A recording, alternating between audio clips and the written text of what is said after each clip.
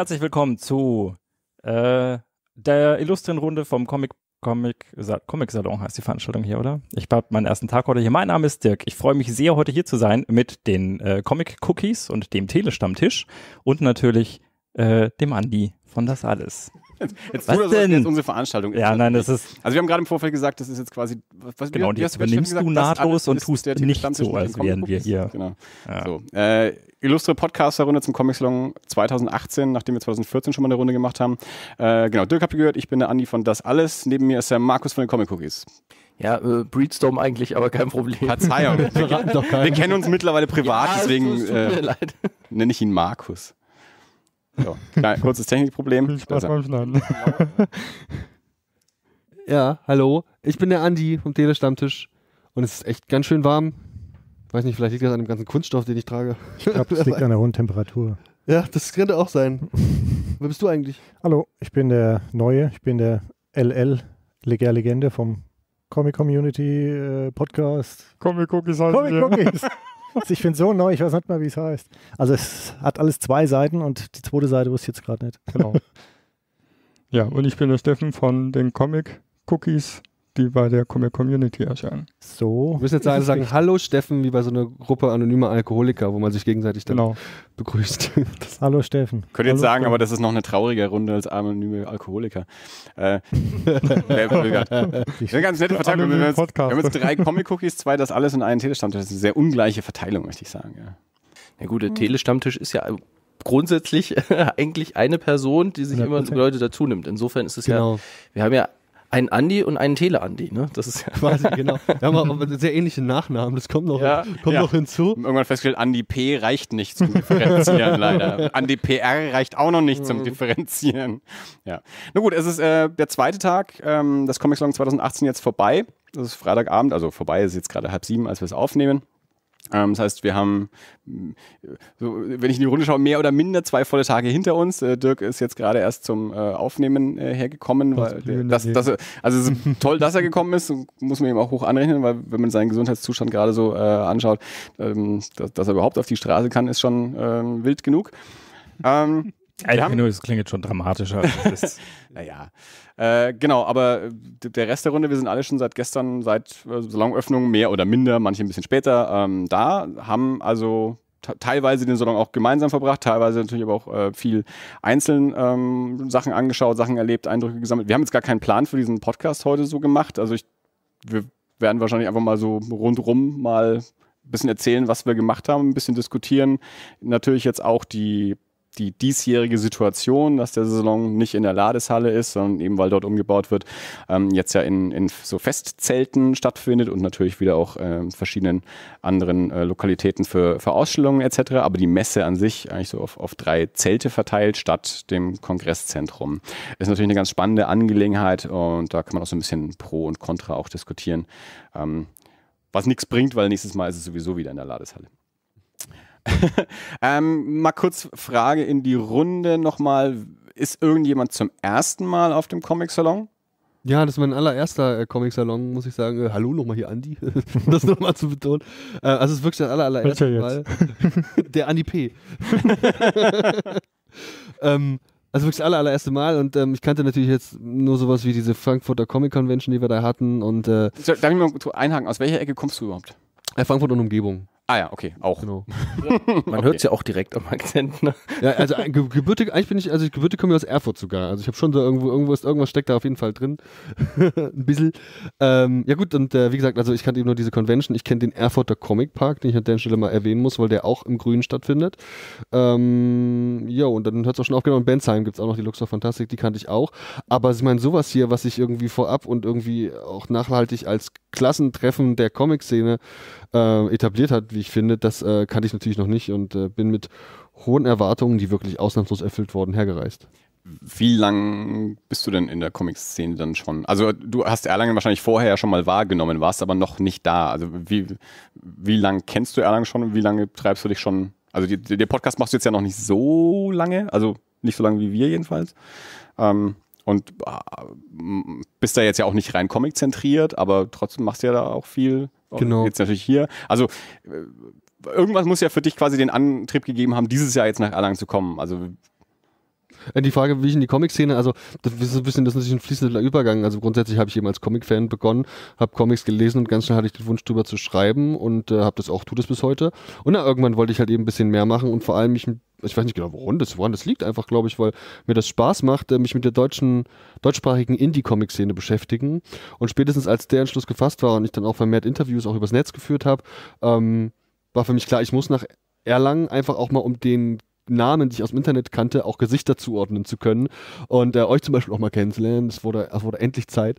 Und ich würde sagen, so, so wirklich drin, nicht ganz zwei Jahre, würde ich sagen. Ja, wie gesagt, und äh, so viele tolle Sachen hier schon mitgekriegt, über die wir vielleicht auch mal anschneiden werden gleich. Ich wünschte, ich könnte mich aufteilen. ja gut, du übertreibst es vielleicht auch ein bisschen, äh, aber gut, wenn es ja auch dein erster Salon ist und natürlich auch äh, jetzt als und als noch äh, legerer Jung-Podcaster quasi, wo man noch äh, äh, Elan hat, äh, da, da, ist es ja auch gut, dass du das so machst. In zwei Jahren machst du es dann vielleicht auch ein bisschen entspannter. Vielleicht, ja. schau, schau, dir die, äh, die kaputten Recken hier an, die auch alle irgendwann ein bisschen ähm, äh, runtergekommen sind. Ähm, Was für eine Zukunftsprognose. ja, danke. Hier sitzen deine Zukunft-Ichs. ja, aber wie lange seid ihr denn jetzt schon am Start? Also ich meine, alteingesessen Hasen, das heißt, es ist jetzt der 18. internationale Comic-Salon Erlangen, alle zwei Jahre, aber ich glaube, da wart ihr noch nicht beim ersten dabei, oder? Nee, mein erster war, glaube ich, 2008. Mhm. mhm. Und seitdem aber alle zwei Jahre? Seitdem regelmäßig, ja. Auch, war es auch in München? Das ist äh, mal zwischendurch? Mm, da waren wir zweimal, ne? Also ich war zweimal mit. Oder? Ja, wir waren zweimal in München. Einmal noch an der alten Location im alten Rathaus, wo das noch getrennt war und auch in der neuen. Beim letzten Mal nicht. Ich bin schon ein paar Mal hier gewesen. Ich glaube, 1996 war das erste Mal hier. Und dann auch, ich glaube, so fast jedes Mal komme ich dann doch zum Comic-Salon. Man kann ja so vieles tun, man kann auch so vieles sein lassen, dann macht viel mehr Spaß. hm. Und anfangs tut man so vieles und später lässt man so vieles sein, dann ist es viel schöner. Ja, ja beim ersten Mal ist das natürlich was ganz Besonderes, ne? Ja, das ist was ganz Besonderes. Ich meine, ich kann das ein bisschen nachvollziehen. Den ersten Saison, wo ich war, war 2010 auch erst. Da haben wir noch nicht gepodcastet, aber da hatte ich für mich die Mission ausgemacht, ich muss jede Menge Zeichnungen haben, ich muss jede Menge Unterschriften haben. So, das, das war so die Mission. Und ähm, da war ich einfach komplett fertig, weil ich mir den Zeitplan so eng gesteckt hatte, dass ich wirklich alles schaffe und dann stehst du da endlich in den Stang und also das ist ja bei dir so ähnlich halt, dass du wirklich das alles genau getimt hast, wie das alles zusammenpasst und also das war bei mir nur halt mit Zeichnungen. Ja? Das ist ja das Schlimme bei ihm, er macht ja quasi nicht nur Zeichnerbesuchen und Ausstellungen besuchen, sondern dann ja auch noch Arbeit äh, mit, mit Interviews führen und so. Also das ist ja noch, also neben dem Comic-Salon-Programm noch das eigene Programm gemacht, also dann, dann wird es natürlich nochmal äh, noch mal Ich finde es aber cool. Mehr. Vielleicht ist es ja gar nicht so viel für ihn ihn. Vielleicht ist es jemand, der was an. kann. ja, also, also ich ganz im Ernst, ich, Leute, ich weiß ja nicht, wie ihr das macht, aber ich ähm, plaudere halt wahnsinnig gern. Und ja. gerade diese ganzen jungen Leute, die da so, die plaudern auch alle wahnsinnig ja. gern. Und immer, also um auch mal so ein konkretes Beispiel zu nennen, warum das für mich jetzt wirklich gar nicht so Arbeit ist auch, ja, warum das eben auch, ich sage immer Hobby-Podcast, weil es halt auch ein Hobby ist irgendwie. Und, ähm, bei dieser Convention in Frankfurt, die nun wirklich einen ganz kleinen Comic-Anteil hatte, wo man mhm. echt, das, das kann man gar nicht äh, ruhigen Gewissens vergleichen. Ähm, selbst da gab es so viele Comic-Künstler, dass ich mich zwei Tage am Stück quasi ununterbrochen mit denen unterhalten konnte. Ja, einfach über deren Arbeit, über die Gesamtsituation. Ich rede gerne über diese Metathemen, mir geht es immer so ein bisschen auch um Szene, so, so ein bisschen bla bla. Aber es macht mir halt mega viel Spaß und ähm, das Ganze mache ich jetzt quasi auch, nur mit einem Zeitplan, jeder Menge Technik und ein paar mehr Visitenkarten. ja, der Zeitplan ist das, was es halt anstrengend macht. Dirk, ähm, der wievielte Salon grob für dich? Also bewusst, naja, also ich war ja noch nicht da. Äh, dieses Jahr. Stimmt. Also heute ich stand von unten, dachte mir, ich habe nicht mal ein Ticket, komme ich da rein. Äh, der zweite, also ich glaube, ich, ich war weil es halt die Stadt ist, in der wir aufgewachsen sind, schon des Öfteren irgendwie mal so am Rande da, aber bewusst ist es, glaube ich, mein zweiter. Nee. Dritter. Dritter. Also äh, Dritter. als Podcaster Stimmt, quasi als Podcaster ähm, als Dritter. ist es ja auch der, der, der dritte, glaube ich. Also 2012, also spät 2012, äh, also nach dem Salon 2012. Ja, das war der erste, auf den ich tatsächlich mit einem Ticket für alle Tage gegangen bin. 14 dann. Alle Tage da war. War der 14er, ja. ja. Weil angefangen zu podcasten und zu veröffentlichen haben wir ja nach dem Salon, erst ähm, 2012. Deswegen genau, es ist also quasi der dritte Salon, den wir als, als Podcaster machen, wobei wir jetzt ja eben, ja, dieses Jahr, weil Dirk jetzt auch heute aus dem Urlaub gekommen ist, nicht, nicht wirklich als Podcaster da sind. Also wir nehmen jetzt nicht auf, außer jetzt eben hier gerade. Mhm. Ähm, Äh, gut, wenn du, ich, wenn du mit deinem Morgen Haxen die nächsten Tage noch öfter kommen willst, sehr gerne. Also dann können wir auch noch aufnehmen.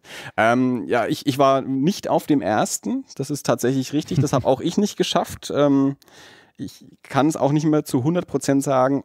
Ab dem zweiten oder dem dritten war ich auf jedem, weil wir eben, wie Dirk gerade schon gesagt hat, eben tatsächlich aus Erlangen kommen, in Erlangen aufgewachsen sind ähm, und ich als Kind schon Comic interessiert war und es natürlich auch geholfen hat, dass es halt in der Stadt auch war. Man hat es ja auch mitbekommen. Ähm, damals war es auch so ähnlich, wie es jetzt dieses Jahr ist. Es war ursprünglich mal ein Zelt auf dem Schlossplatz. Es war ein viel kleineres Zelt als das Zelt, das da heute ist. Und es war auch nur dieses eine Zelt. Also alles drumherum gab es in dem Sinne so auch nicht. Dann äh, beim nächsten Mal dann gab es zusätzlich zu diesem Zelt noch den Reduttensaal, wo jetzt äh, dieses Jahr Ausstellung von Jeff Lemire und von Flix drin ist. Da waren damals dann auch Stände drin. Und dann ist das Ganze in die Ladeshalle gezogen. Und dann ist es in der Ladeshalle auch immer noch größer und größer und größer geworden. Von daher ist es also für die Leute, die damals schon dabei waren, ist es tatsächlich so ein bisschen, ja, back to the roots, wieder ein Zelt auf dem Schlossplatz, äh, aber eben alles in viel, viel größer, als es in den 80er Jahren war. Ähm, ja, aber wie gesagt, also dadurch war für mich die, die Anbindung zum Comic-Salon quasi mein ganzes Leben gegeben. Ich war jetzt damals natürlich nicht immer vier Tage lang da, also ich war halt einmal dann halt dort, so als, als Kind und später. Und, äh, aber irgendwann kam es dann eben dazu, ähm, dass ich mich halt noch intensiver mit, mit dem Medium Comic und allem beschäftigt habe und halt auch gesehen habe, was ich hier äh, halt auch für eine Möglichkeit habe, ähm, äh, dadurch, dass das hier direkt vor der Haustür stattfindet, ähm, dass ich dann halt angefangen habe, mir wirklich Dauerkarten zu holen und dann halt alle vier Tage auch da zu sein. Und im Laufe der Jahre hat sich das dann auch immer so gewandelt, was ich da gemacht habe. Wir haben jetzt da gerade drüber gesprochen, eben so Signierschlangen und, und, und all sowas und Ausstellungen anschauen. Das habe ich auch jahrelang betrieben, weil man das da auch, das hast du hier ja quasi so gelernt. Was macht man denn da dann so? Dann kommt dann halt irgendwie die, die Jungs, die damals ähm, hier Spirou gezeichnet haben und so und dann stellt sich da halt an und lässt dir irgendwas in dein Album krakeln und, und gehst wieder. Und dann habe ich mir, ähm, das muss 2002 gewesen sein, habe ich mir äh, die Bänder gerissen und war auch auf Krücken unterwegs, so wie, wie Dirk jetzt. Ähm, und da war aber auch Comic-Song zu der Zeit. Aber das hieß aber auch, dass es natürlich viel unangenehmer ist, irgendwie ständig mit, mit, mit Krücken da durch die Gegend zu humpeln und sich irgendwo hinzustellen. Und in dem Jahr habe ich dann angefangen, mich in diese Podiumsdiskussionen reinzusetzen. Äh, und habe dann da äh, Lust dran gewonnen, sodass ich ab da dann auch äh, immer so meinen Stundenplan hatte, jedes Jahr, an welchem Tag welch, will ich welche Podiumsdiskussionen sehen und alles andere mache ich dann so dazwischen. Also habe ich dann so Signierstunden und Podiumsdiskussionen quasi so miteinander so ein bisschen ähm, in den Stundenplan zusammengebracht. Und da war ich aber halt immer auch alleine unterwegs. Das heißt, da hab, war das halt so für mich der gefüllte Tag. Und jetzt eben mittlerweile, so seit sechs Jahren, seit wir halt auch den Podcast äh, betreiben und darüber eben auch andere Podcaster, wie jetzt auch euch, aber eben auch Zeichner und Verlagsleute irgendwie äh, kennengelernt haben, ähm, bestehen meine Tage jetzt hauptsächlich darüber, da, äh, daraus, äh, mich so mit Leuten zu treffen, äh, mich mit, mit Leuten irgendwie mal zusammenzuhocken, einfach irgendwie ein, ein, Bierchen trinken und quatschen und zwischendurch halt auch mal irgendwie natürlich auch die Ausstellungen anschauen und vielleicht auch mal eine Signatur mitnehmen, wenn die Schlange kurz ist und ich gerade Bock habe. Auch natürlich Comics kaufen, aber äh, so dieses, dieses Klassentreffen-Ding, das du auch schon angesprochen hast, das ist ja für die, also die deutsche Comic-Szene, die deutschen Comiczeichner sprechen da ja auch so drüber. Die sagen ja auch, das ist so alle zwei Jahre hier so Familientreffen, Klassentreffen.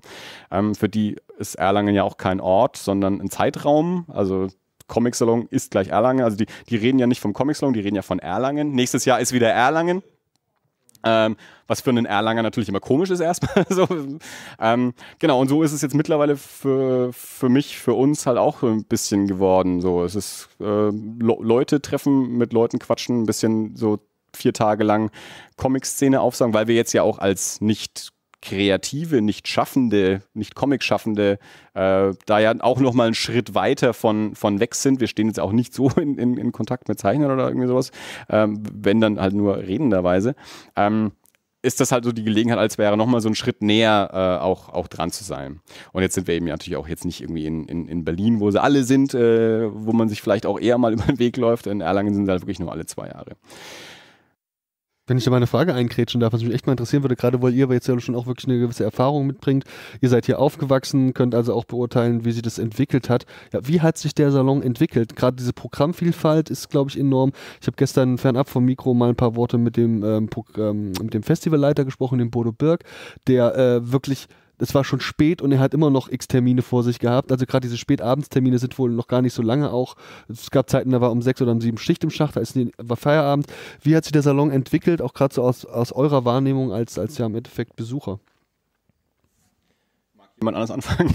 Also solange ich hierher komme, gab es schon immer das ganze Rahmenprogramm drumherum. Auch in der Vielfalt und Größenordnung. Ich weiß nicht, ob es von morgens bis abends alles äh, mehrfach durchgeplant war, also dass man gar nicht alles besuchen kann, aber ich bin früher halt mit einer Clique aus meiner Ecke hierher gefahren und der eine war derjenige, der gesagt hat, du musst alle Ausstellungen sehen. Der andere war derjenige, der gesagt hat, du musst alle Zeichner mitnehmen. Der dritte war derjenige, der gesagt hat, ähm, es gibt Podiumsdiskussionen. Der vierte war derjenige, der gesagt hat, ich gehe immer abends auf jeden Fall zur Max Moritz Preisverleihung. Ähm, der fünfte hat gesagt, ich gehe immer überall, wo es was umsonst zu essen geht hin. Und ähm, ich war neu und ich glaube 96 war das und habe erstens versucht, mir von allem einen Eindruck zu holen, was jetzt jeder so vorher gesagt hat. Ähm, und habe dann festgestellt, naja, wie soll man denn von allem jetzt einen Eindruck holen? Also der eine ist fast vier Tage lang ähm, hauptsächlich erst einmal alle Ausstellungen durchgegangen und nicht durchgeeilt, sondern er ist verweilt und dann ist einen halben Tag haben wir nicht mehr gesehen und dann, als man kurz gesehen hat, hat er gesagt, er muss jetzt in die nächste Ausstellung, sonst kriegt er nämlich nur mit Ausstellungen gucken sein, sein, sein Pensum nicht mehr hin. und ähm, da haben wir uns dann halt einfach abends dann nur noch zum Essen getroffen und tagsüber hat man den zum Beispiel nur zweimal kurz gesehen diejenigen, die sich dann ähm, zum Beispiel in der Haupthalle aufhalten, ähm, die ist ja überschaubar. Die, die, Leute sieht man meistens, was weiß ich, alle 15 Minuten. Und jedes Mal, wenn man an der Schlange vorbeigeht, sagt man, hey, du bist zwei, zwei Meter weiter vor. Hey, geil. Sehr gut. Teilweise gibt man denen auch noch kurz was zu trinken. Ähm, die müssen es ja schaffen, die müssen ja überleben. Aber war das denn jetzt auch schon so, also es sind ja wirklich, hier werden ja internationale Größen auch ankutschiert. Also wir haben jetzt hier die Kanada-Schwerpunkt diesmal. War das auch immer schon so?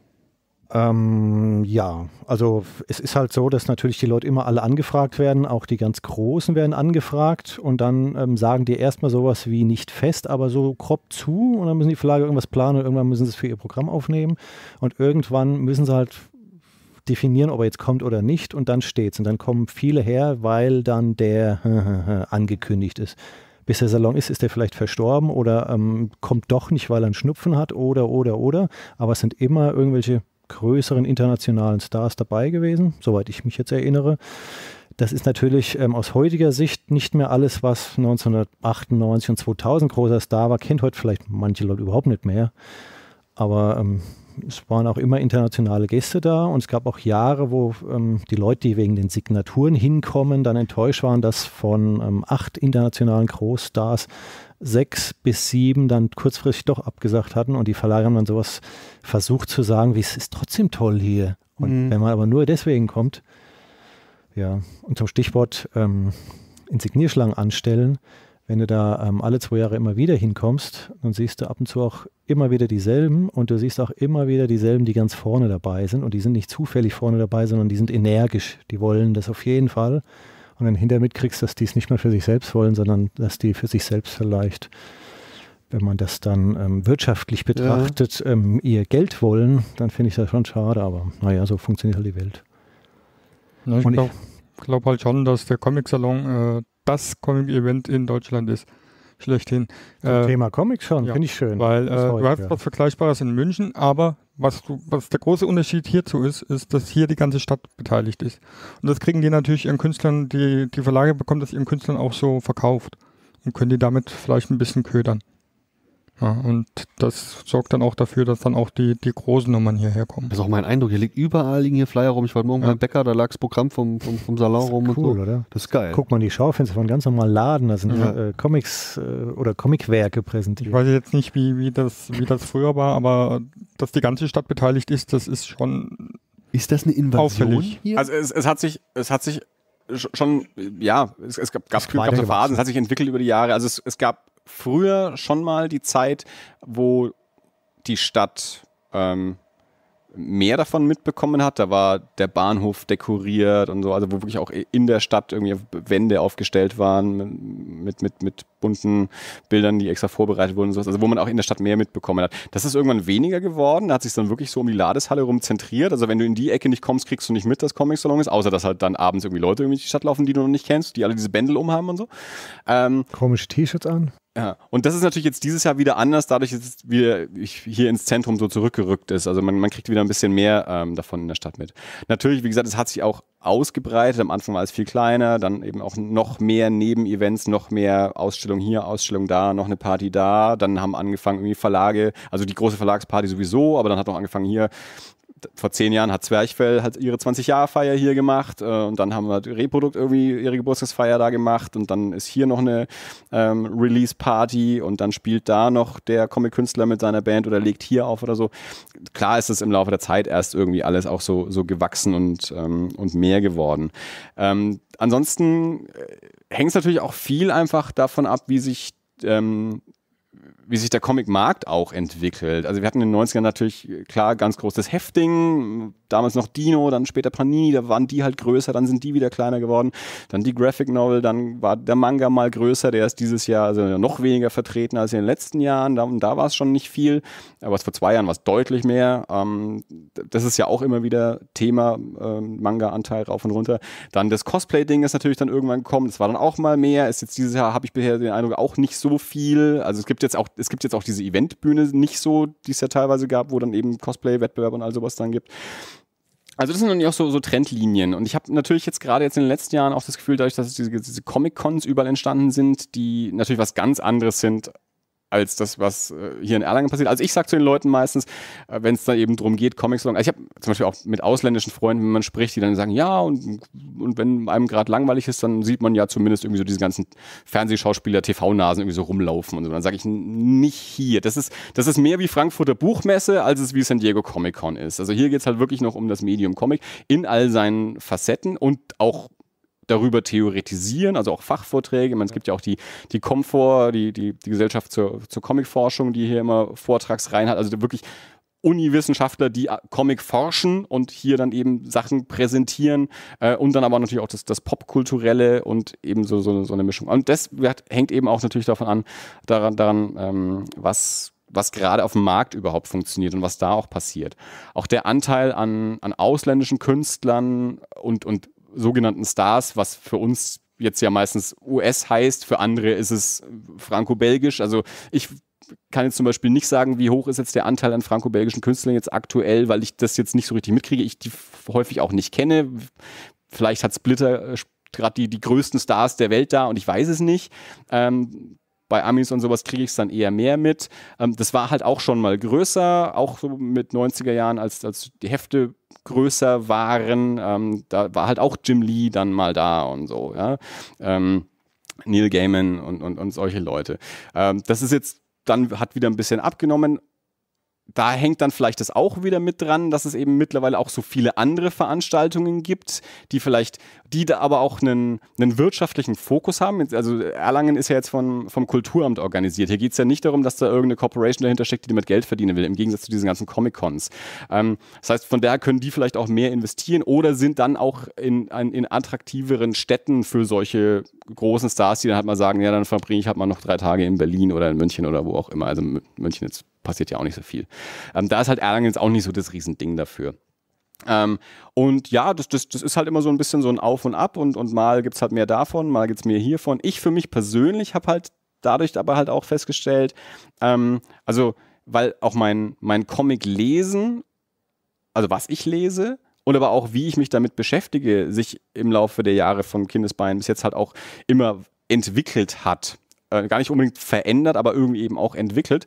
Ähm, dass ich äh, dem Salon immer was abgewinnen kann. Also ich sehe, stehe jetzt nicht da und denke mir, ach Mensch, ah, keine Stars irgendwie da, keine die und die tolle Ausstellung oder so, sondern ja, aber es gibt halt was anderes dann zu erleben. Also ich bin da halt zum Glück nicht so festgefahren, dass ich irgendwie ähm, am, am, am 90er Jahre äh, Dino-Heft irgendwie festgeklebt äh, bin und dem nachtrauer, dass das nicht mehr so ist wie früher. Ähm, sondern ich bin ja auch Medienwissenschaftler, also ich mag halt auch so diese Draufsicht halt irgendwie und beobachte das gerne ähm, und habe das natürlich auch als äh, positiv empfunden, dass seit den 90er Jahren auch der, der deutsche Comic halt auch stärker geworden ist. Und dementsprechend ist halt auch irgendwie der, der Fokus mittlerweile, also ich, ich möchte meinen, dass der Prozentsatz wahrscheinlich an, an, an, an deutschen Publikationen auch seit den 90er Jahren wahrscheinlich viel höher ist, als es damals eben noch war jetzt auf dem, auf dem Salon. Äh, was ja auch eine positive Sache ist. Und natürlich gibt es halt Leute, wenn die nur Marvel lesen, dann möchten die halt gerne, dass Marvel-Stars herkommen. Wenn man sich aber, wie wir, glaube ich, alle, einfach ganz allgemein für Comic begeistert und mit Comic beschäftigt, dann ist es halt auch super, ähm, andere Leute zu treffen. Die Deutschen sind halt alle zwei Jahre da, wie Markus auch gestern gesagt hat. Irgendwann hast du halt von Ingo Römling alles so. Ne? Ähm, ja. Aber dann freut man sich mit denen halt irgendwann mal an und geht halt ein Bier trinken, statt sich was signieren zu lassen. ne? So, ich habe mal wieder monologisiert. Also ist, Also- ist für jeden was dabei gewesen auch, ne? Ja, ja. Hast du mal ähm, dir das Gesamtprogramm angeguckt? Hast du dieses Mein, mein, mein Salon, glaube ich, heißt die Funktion? Ja. Hast du das genutzt? Naja, ich habe im Vorfeld ein bisschen genutzt und mir ein bisschen ein paar Künstler rausgesucht, die mich interessieren könnten. Auch Veranstaltungen mal ein bisschen durchgeklickt. Aber meistens kommt es dann doch anders als, Ja. als geplant. ja. Aber es ist, ein- ist ein tolles Feature, finde ich. Also genau, weil du das dann halt ähm, genau nach deinen Interessenlagen einsortieren kannst und dir zusammenstellen kannst, was der Comic-Salon für dich sein kann. Deinen eigenen Festivalplan zusammenstellen. Das ist toll. Tolle Funktion. Auf jeden Fall. Also Markus hat ja. Ja, vor allem in kurzer Zeit. Also ich habe auch, äh, wie gesagt, Mittwochabend dann da mal so durchgeklickt und es geht einfach ruckzuck. Du brauchst nur anzuklicken, was du willst. Natürlich, du musst dich registrieren mit E-Mail-Adresse, ist halt so. Irgendwo dran musste ich das Programm erkennen. Ja. Und ähm, du hast so alles Wichtige drauf, ob du jetzt hingehst oder nicht. Ja. Wir hatten uns ja vor vier Jahren, glaube ich, mal mit den Programmierern davon unterhalten ähm, die das schon angekündigt haben. Da hatten sie es am Anfang noch als App vor. Wenn man jetzt sieht, wie es gemacht wurde, du brauchst nichts runterzuladen, sondern kannst es einfach über die Homepage in deinen Browser reinmachen. Sehr schönes Ding, muss ich echt sagen. Mega komfortabel, ist alles auch getaggt. Du kannst zwischen den einzelnen Künstlern einherklicken. Wenn du auf irgendeiner Veranstaltung einen Künstler gefunden hast, den du interessant findest, kannst du den dann wieder anklicken und siehst seine Signierzeiten teilweise. Also das ist wirklich, das ist schon herausragend positiv. Echt, das gefällt mir. Ja, das für so Ja, eine sie- Oldschool-Veranstaltung sowas Nützliches, ja, sehr gut. Beim, letzten Mal war das, glaube ich, das erste Mal dabei, ne? Da, Ich meine, es war vor vier Jahren, weil ich es beim letzten Mal, glaube Also ich, auch schon 2014 genutzt da habe. haben sie gab's es noch, die App. noch geplant, ja. Ja. ja. Genau. 2014 gab es eine App und dann jetzt, letztes Mal gab es das schon mit dem Mai-Dingsbums. Ja. Ja. So, wir haben jetzt ja anderthalb Tage schon auch miterlebt. Ähm, Gab es schon sowas wie Highlights, die wir jetzt vielleicht mal schon mal so rausfischen sollten? Ja. Weiß nicht. Den einen oder anderen Künstler oder ich meine, gestern Abend war auch hier der Comic Talk zum Beispiel. Es ist ja auch oft, ähm, wenn der ganze Salon rum ist, man geht nach Hause, ist irgend sowas wie eine Neuentdeckung da. Das ist dann ja auch sowas wie ein Highlight. ja. Ich glaube, das hatte Steffen und ich, wir haben das schon irgendwie Ja. entdeckt. Ja. Also etwas, das man vorher nicht auf dem Schirm hatte, nicht kannte. Auf dem Salon gibt es Längere Zeit auf dem Schirm hatte ich es schon irgendwie. Also ich hatte es von Anfang an geplant, weil ich hatte ja das Comic mitgenommen. Äh, und zwar das Comic Mirror von, vom Splitter Verlag. Und da haben wir dann gestern auch das erste Mal die, die Schöpferin des Ganzen äh, beim Comic Talk gesehen. Und seitdem möchte auch der Licher-Legende dahin und sich was lassen. Also es gibt ja Hochs und Tiefs und ähm, Highlights, die erfolglos sind. Und heute hat man das Highlight, das erfolglos waren. Ähm, ich war jetzt sehr lang nicht mehr, dass ich mich an irgendeine lange Schlange angestellt habe. Deswegen ist das so schön, dass man dann auch zu deutschen Comic-Künstlern gehen kann, wo keiner ist. Und du denkst dir, ach, guck mal hier, jetzt lass mir mal von dem was zeichnen. Der freut sich, dass da jemand kommt. Und ich freue mich, dass ich keine lange Schlange habe und entdecke was Neues. Ähm, sie ist jetzt halt schon ähm, nicht unentdeckt geblieben. Das heißt, die Schlange ist sehr lang, aber sie ist ganz neu. Man schreibt über sie, dass sie die potenzielle ganz große Newcomerin des Jahres überhaupt ist. Und da haben wir heute uns ganz normal in die Schlange angestellt, haben zwei Stunden angestanden, dann war die Zeitraum und wir kamen leider noch gar nicht dran. Das heißt, ähm, dann wird einem sowas versprochen wie, kommt dann morgen dran. Also er versprochen, die wissen, wie ihr aussieht und dann ja, ja. Wie ich aussehe, das weiß ich. vergisst sie nicht. Ähm, Glaub Ja. nicht. aber die nimmt sich halt auch sehr viel Zeit dafür. Also 15 Minuten pro Sketch ist das Mindeste und das sieht man dann aber auch in den Ergebnissen. Also das sieht schon toll aus. Das ist für die Verlage halt immer eine ganz blöde Rechenaufgabe. Wenn du jetzt 30 Minuten pro Sketch Mhm. brauchst und die Zeichner sind drei Stunden oder zwei Stunden da, dann weißt du genau, dass das nur ganz, ganz wenig Leute kriegen können. Ähm, wenn du zu schnell zeichnest, also dass es auch hingehuschelt aussieht, dann weißt du, dass du ganz viele ähm, Fans unzufrieden gemacht hast, vielleicht. Also ich will ja gar nicht was unterstellen.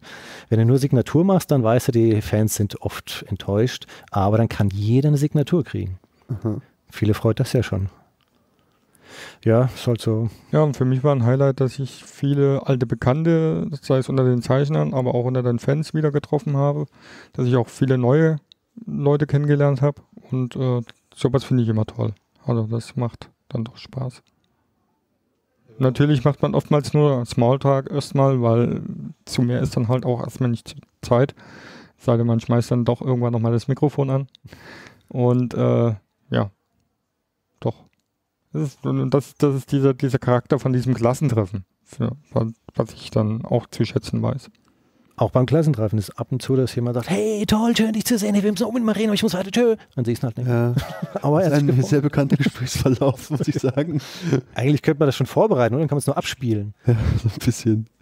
Wie, wie wird das bei dir aus? Hast du ein Highlight? Ja, jeder hat ja so seinen Weg, wie er den Salon am besten wahrnimmt. Ich habe ja irgendwann diesen um diese gesagt, okay, diese ganz langen Schlangen muss ich mir nicht mehr geben. Das macht mich auch zum gewissen Grad, äh, macht mich dann, wenn ich so die Verhaltensweise von dem einen oder anderen sehe in der Schlange, macht mich das auch so ein bisschen aggressiv so, ne? Halt, ne? Also das äh, ist nicht unbedingt für mich eine friedliche Atmosphäre, wenn Leute da ihren Koffer hinstellen und gehen dann erstmal eine Stunde woanders hin oder führen sich da auf in der Schlange wie die, wie die letzten Menschen halt. Also monologisieren da in der Schlange, wie schön, was sie alles haben und so weiter und so fort. Das ist manchmal wirklich äh, nicht unbedingt für mich geeignet. Ich mache es dann eher so ähnlich wie du das jetzt auch machst und sammle dann halt Gespräche, dass ich eher mir Leute suche, mit denen ich mich unterhalte und eben auch die vielen kleinen Zeichner, ähm, die einfach Bock haben, dir was Schönes zu machen und wo du dann auch direkt gleich drankommst. Ich meine, klar, gefallen muss es mir immer noch, also diese Hürde müssen es schon nehmen. An Highlights würde ich sagen, heute die Ausstellung hat mir sehr gut gefallen von Mathieu, wo wir waren. Die ist quasi hier im Keller von der Bibliothek. Die ist äh, nicht nur bildgewaltig, sondern auch multimedial gestaltet mit VR-Elementen. Also du kannst seine, seine äh, Teile seiner Bücher quasi per VR durchspielen, indem du dich wirklich dann durchklickst und den Weg nimmst, den die Figur aus dem, aus dem Comic nimmt, was schon unglaublich ist. Oder auch im Keller, also da merkt man halt auch, dass die Stadt das hier mit veranstaltet, so viel Platz musste erstmal haben. Da sind ganze Räume ähm, hergerichtet worden, um ein bestimmtes Bild in Szene zu setzen. Und die haben das halt rundrum dann in Szene gesetzt. Also solltest du dir auf jeden Fall noch, noch anschauen. Ja, also das war so das optische Element, was heute sehr gefördert wurde. Ich denke, dass viele Besucher, gerade wie angesprochen, die halt wirklich nur auf Sketche aus sind, ähm, sowas gar nicht mitkriegen. Ja, also ich habe oben das gesehen, habe gesehen, da hängen ein paar Bilder, ein paar Monitore, okay. Aber die zwei Jungs haben dann halt gesagt, sie gucken sich alles an. Und da war ich dann doch wirklich echt geflasht, was da, was da an, an Geld und Zeit in die Hand genommen wurde, um hier eine adäquate Ausstellung äh, in die Landschaft zu ziehen. Ja, aber auch zeitgemäß und du sagst, das ist jetzt auch von der Stadt. Äh, irgendwo habe ich in einem Interview gelesen, die ähm, haben dann natürlich auch einen Bildungsauftrag hier mit der Veranstaltung. Also ist jetzt nicht rein kommerzialisiert. Es geht nicht um den Gewinn. Ich muss ganz ehrlich sagen, ich habe heute das erste Mal die Halle B betreten und habe, bis ich das erste Mal drin war, auch mich gewundert, dass nirgendwo Merchandise ist. Ich habe eine Mütze in meiner Größe mhm. gesucht. Das ist echt ein Akt. Und da waren dann auch mal tatsächlich mal ein Stand. Genau. Und äh, auf anderen Conventions äh, gibt es eigentlich nur Merch und noch ja, was da ist. Ja. Das ist schon ein enormer Unterschied. Sehr gefallen. Ich würde mich an der Stelle einfach mal kurz verabschieden mhm. und hören wir dann den Rest online an. Alles klar. Also es gibt ja jede Menge Sachen hier, die man sich anschauen kann. Also klar, die ganzen Ausstellungen, die jetzt irgendwie auch ein bisschen Zeit erfressen natürlich, da muss ja auch irgendwo reingehen. Wir hatten ja mit dem Wetter eigentlich nur so zwei Extreme, entweder super mega warm oder halt eben so apokalyptische Regenschauerzustände. Ähm, das ist übrigens ganz beeindruckend, dass die Zelte das auch mitgemacht haben. Ähm, das muss man ja eigentlich an der Stelle auch mal erwähnen. Die Zelte, die ganze Situation mit dieser Halle und so, du hast es jetzt ja auch, auch, auch erläutert, ja, wie skeptisch die Comic-Szene vor ungefähr einem halben Jahr gewesen ist, als es hieß, okay, die Halle steht nicht zur Verfügung, die ich ja eigentlich gar nicht kennengelernt habe bis jetzt. Ähm, und tatsächlich auch Verlage gesagt haben, okay, sie kommen aufgrund der Ungewissheit, die sie da erwartet, gar nicht erst her. Wir haben also Verlage, die dieses Jahr keinen Stand haben. Wie sich das um 180 Grad gedreht hat, wie ich ausschließlich, also wirklich ausschließlich, positive äh, Sachen gehört habe über die aktuelle Situation mit diesen, ja, das sind ja keine Zelte, das sind im Endeffekt mobile Messerhallen, ja. äh, die auch eine Klimaanlage haben, wo dem man vielleicht mhm. nicht so viel merkt, aber sie ist da. Ohne wäre es schlimmer. Ohne wäre es schlimmer wahrscheinlich, ja. ja wie positiv sich das gewandelt hat, die Verteilung auf diesen Schlosspark im Grün, das ist ja unbeschreiblich schön. Ähm, das ist echt, echt, echt eine tolle Sache. Also es haben nicht alle vorher ähm, gesagt, das ist doch unmöglich, mhm. sondern wahrscheinlich 50-50. Die einen haben sich gefreut, weil sie wissen, was die Vorteile sind und die anderen sind Menschen. Menschen sind ab und zu ein bisschen das anders, neu, nee, oh, je, da geht doch die Welt unter. Ja. Ja. Aber es ist richtig gut geworden. Das ist natürlich jetzt so die, die Gespräche, die ich jetzt auch die letzten zwei Tage mit, mit mehreren Leuten geführt habe, eben so den Vergleich. Ich finde es ganz spannend in zwei Jahren, wenn, wenn, wenn, wenn Andi, wenn du dann das Wie erste Mal die, dann wenn bin. du das erste Mal die Ladesalle, weil wir kennen jetzt alle quasi den Sprung von Ladeshalle zu das, was wir jetzt äh, dieses Jahr haben und können das so diskutieren. Du kennst es jetzt nur so erstmal. der Einzige mit der umgekehrten Perspektive. Genau. in Also da können wir dann in zwei Jahren dann mal, mal schauen, Ja. wie, wie, wie du das dann empfindest. Ähm, also ich finde, es hat ja, es hat be- beides so se- seine, seine Vor- und Nachteile. Ähm, das funktioniert jetzt halt super, solange das Wetter gut ist. Wenn das Wetter scheiße ist, ist halt, dann bleibst du halt auch nicht im Schlossgarten. Also wenn es halt pisst, wie gestern Abend, ähm, dann, dann steckst du halt in so einer mobilen Messehalle fest und ja. da stehst du dann aber halt rum. Es gibt halt auch dann dort keine Rückzugsecken, dass du dich irgendwo hinhocken könntest. oder irgendwas. In der Ladeshalle ist halt sehr, sehr weitläufig. Da gibt es halt dann auch wirklich Ecken, wo du dich einfach zurückziehen könntest oder einfach in Ruhe irgendwo stehen könntest, sitzen könntest, sonst irgendwas. Äh, und hier jetzt halt stehst du jetzt dann halt in den Gängen oder halt vor dem Ausgang rum und kannst dann aber auch nichts machen irgendwie. Und ähm, in der Ladeshalle ist halt dann alles unter einem Dach. Im Zweifelsfall kannst du dann in die Ausstellung gehen oder so. Ähm, es ist klar, ist das in dem Schlossgarten super hübsch.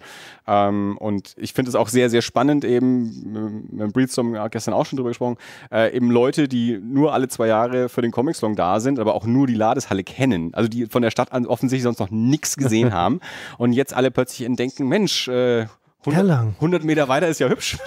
ja? ähm, also klar, also so dieses das Ambiente jetzt dieses Jahr, ähm, also auch unter der Bedingung Wetter, ähm, ist natürlich super schön. Ich finde, dass die Gänge ähm, eng sind ähm, in den Hallen. Also ich finde, das ist in der Ladeshalle dann eben doch so, dass sich äh, mehr Freiräume ergeben. Man steht sich nicht überall so im Weg, wie es jetzt äh, meiner Meinung nach da der Fall ist. Also ich habe häufig, ähm, gerade jetzt Halle A, äh, ke- keine Lust an einem Stand stehen zu bleiben, um mir mal was anzuschauen und mal zu stöbern und mal zu gucken, was zu entdecken, weil ich sofort im Weg stehe und alles blockiere. Ähm, und ich glaube, dass das in der Ladeshalle weniger der Fall ist. Da gibt es natürlich auch solche Ecken, wo man sich gegenseitig im Weg ist. Aber insgesamt äh, äh, zieht sich doch ein bisschen mehr auseinander und es gibt mehr äh, Freiräume und auch breitere Gänge ähm, zwischen verschiedenen ähm, Verlagen und Ständen. Also das ist dann da schon auch ähm, angenehmer. Also sowohl also bei schlechtem Wetter ist man besser untergebracht und es ist doch ähm, etwas etwas luftiger so. Ähm, ja, also Aber nicht volle Kanne luftig. Also da kann es auch drin sehr stickig wirken. Und ähm, so Stauforscher, ähm, die finden es jetzt in den Hallen vielleicht gut, dass es die Gänge gleich breit sind. Also in der Ladeshalle ist ja viele, viele breite Gänge und da, wo es enger wird, ähm, Stauforscher mögen das gar nicht. Da sind die tückischen Stellen und das fällt halt dort weg.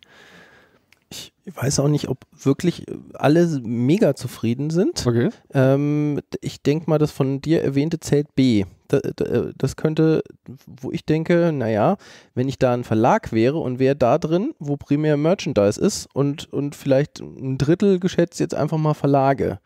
Ähm, weiß ich nicht, ob du da so die Synergieeffekte hast, wie wenn du im gleichen, äh, in der gleichen Halle bist, wie mit den großen Verlagen, weil dass du da dann nochmal versehentlich vorbeigehst, da, da ist bei mir jetzt die Motivation nicht so groß. Es sei denn, ich will da was Bestimmtes haben von irgendwem. Dann gehe ich da nochmal vorbei. Ansonsten halte ich mich aber entweder in A auf oder ich gehe, weil es schön ist im Park, gehe ich nochmal hinten äh, in C so ein bisschen durch. Aber sonst habe ich aktuell für mich wenig äh, Gelegenheit, einfach mal wieder in B zurückzukehren, wenn ich da nicht wen Bestimmtes haben will. Das äh, weiß ich nicht. Ob da, aber wir werden es nach dem Salon Argument, hören. ja klar. Ich denke natürlich auch, dass die Stadt vielleicht auch den Leuten entgegengekommen ist, was die Preise für sowas betrifft. Ja, also es ist ja klar, wenn ich jetzt nur allein jetzt mal an die Sammlerecke denke, die sonst einen riesigen Platz haben, wo sie ihren, ihren Flohmarkt machen, wo du Comics nach Kilopreis kaufen kannst. Und jetzt ist es ja sehr, sehr beschränkt auf einen normalen Messestand. Also da, da kann unmöglich derselbe Preis dafür. Da hast du ja auch keine Lust, dir was anzuschauen. Also wenn Ja. da fünf Leute stehen, kommst du nicht mehr. Also ich, hab, ich Ja. bin da schon mehrfach dran vorbeigelaufen. Ich habe noch nicht, äh, ich habe da gar keine Energie, äh, m- mich da reinzuzwängen und mal, weil da musst du wirklich kruschen und stöbern und so. Das fällt dieses Jahr dann halt eigentlich weg, ähm, weil ja die Fläche einfach nicht dafür gegeben ist. Wo ist eigentlich diese Comic-Börse? Die wird dann im E-Werk sein morgen. Das fände ich auch sehr spannend. Die ist ja normalerweise, also du kennst jetzt wieder, Andi, du kennst jetzt Ladeshalle wieder nicht so gut. Äh, da ist es normalerweise einfach direkt auf dem Vorplatz vor der Ladeshalle und dann noch so im, im, im Einkaufszentrum ähm, nebendran. Ähm, dass dann eben da diese ganzen Stände aufgebaut sind. Also wirklich da, wo die Messe auch passiert, wo du sowieso rein und rausläufst. Jetzt wird das Ganze im E-Werk stattfinden, was also dann doch die Straße runter und dann nochmal runterwärts irgendwie so. Also da muss man erstmal hinkommen. Also das ist eigentlich so, wenn man sich den, den Plan anschaut, wie die, ähm, die Veranstaltungsorte dieses Jahr gelegt sind, ist das eigentlich schon das Ende. Ähm, also nicht zentral. Ich bin gespannt, wie viele sich dahin verirren. Ich bin gespannt, ob ich mich morgen dran erinnere, dass das ja eigentlich ist und ich mich da mal hin verirren könnte, weil es aus den Augen, aus dem Sinn so ist. Ne? Ähm, ja, keine Ahnung. Ich hätte tatsächlich noch ein Thema, das ich echt gerne mal anschneiden würde, weil ich glaube, da hier auch die anwesenden Geister ein bisschen scheiden. Und zwar die Preisverleihung hier beim Comic-Salon. Da gab es zwei Stück, die ich jetzt auf die Schnelle im Kopf habe. Das war einen, zum einen gestern der äh, Ecom, der äh, verschiedenste Kategorien hat, die dann auch eben verschiedenste Preise, äh, da werden verschiedene Preise verliehen. Die sind allesamt, glaube ich, auch dotiert. Da gibt es also ein paar Euro. Und dann natürlich jetzt hier den Max- und Moritz-Preis, der heute Abend stattfinden wird, ähm, wo ich jetzt mich natürlich auch als in Vorbereitung für den Salon ein bisschen mit beschäftigt habe. Ähm, guckt ihr euch das an? Wenn ja, warum? Und wenn nein, warum? Also ich gehe hin, ich gucke mir das an, weil es irgendwie aus meiner Sicht Tradition ist. Ähm, ich bin ein sehr großer Mensch. Das Schlimmste von allem ist, dass das in einem Theater ist, das gebaut wurde zu Zeiten, als die Menschen kleiner waren. ich passe in einen normalen Sitz so gut wie nicht rein und ich habe vor zwei Jahren Knie-OP gehabt. Ich weiß nicht mal, ob ich da sitzen bleiben kann. Das ist das Schlimmste, Schwierigste für mich. Ich weiß, dass andere Leute andere Kritikpunkte haben, aber ich denke, ähm, da habe ich mich auch, also aus heutiger Sicht ist es auch Tradition, das ist einfach so, dass, die, dass da so althergekommene Weisen gibt, die jedes Jahr auch althergekommen kritisiert werden. Und es sind immer dieselben Gesichter, die da ihre Show abziehen, dann wollen die halt an dem Abend ihre Show haben, finde ich schön.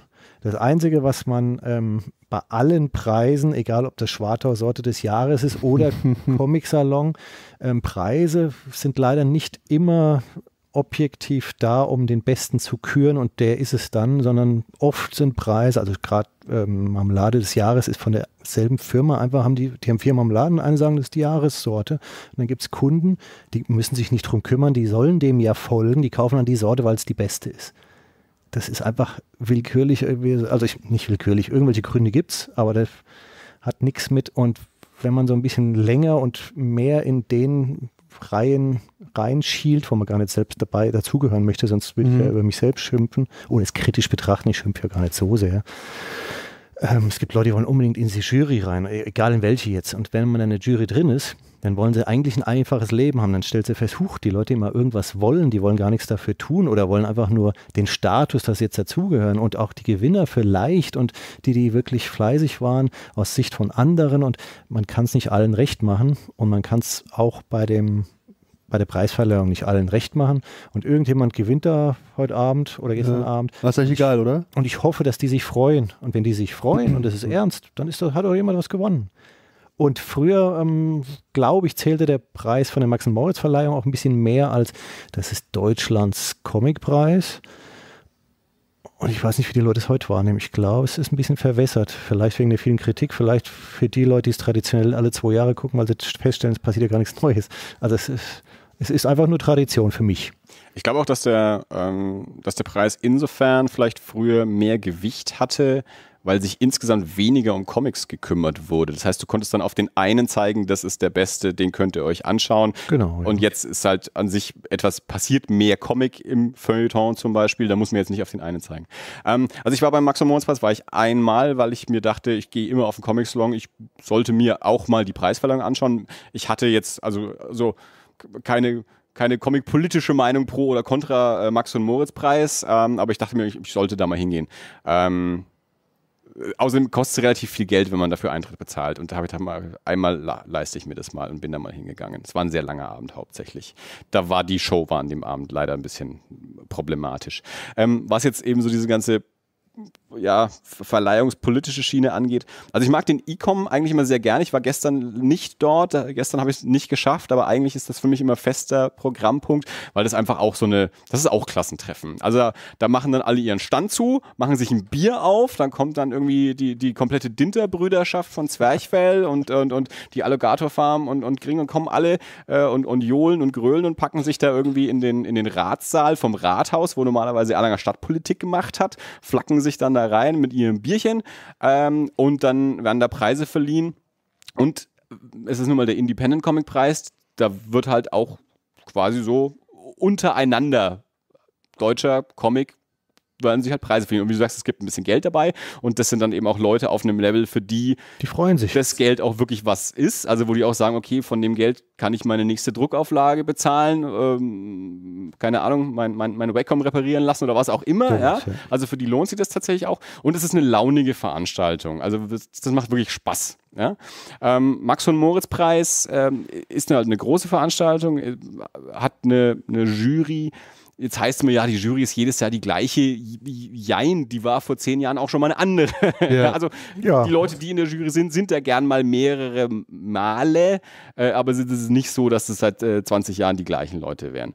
Ähm, klar kann man dann immer so die Zusammensetzung hinterfragen und natürlich haben die auch irgend, wahrscheinlich irgendwelche Präferenzen. Ich glaube, dass die Leute, die in der Jury sind, sind alles sehr gescheite Leute, die sich sehr gut mit Comic auskennen, die das auch sehr gut beurteilen können, die aber sicherlich ähm, auch einen gewissen Anspruch hegen, den man nicht teilen muss. Ich glaube, das ist, das ist bei allen Jurygeschichten so. Also bei den Oscars gewinnen auch selten, also dass Mad Max Fury Road so viele Oscars bei den äh, Oscars bekommen hat, war, war eine Sensation, weil Actionfilme Komödien oder so kriegen nun mal auch selten einen Oscar, weil die Academy da einen anderen Anspruch an preiswürdigen Film hat. Und so ist es beim Max und Moritz Preis, denke ich, auch.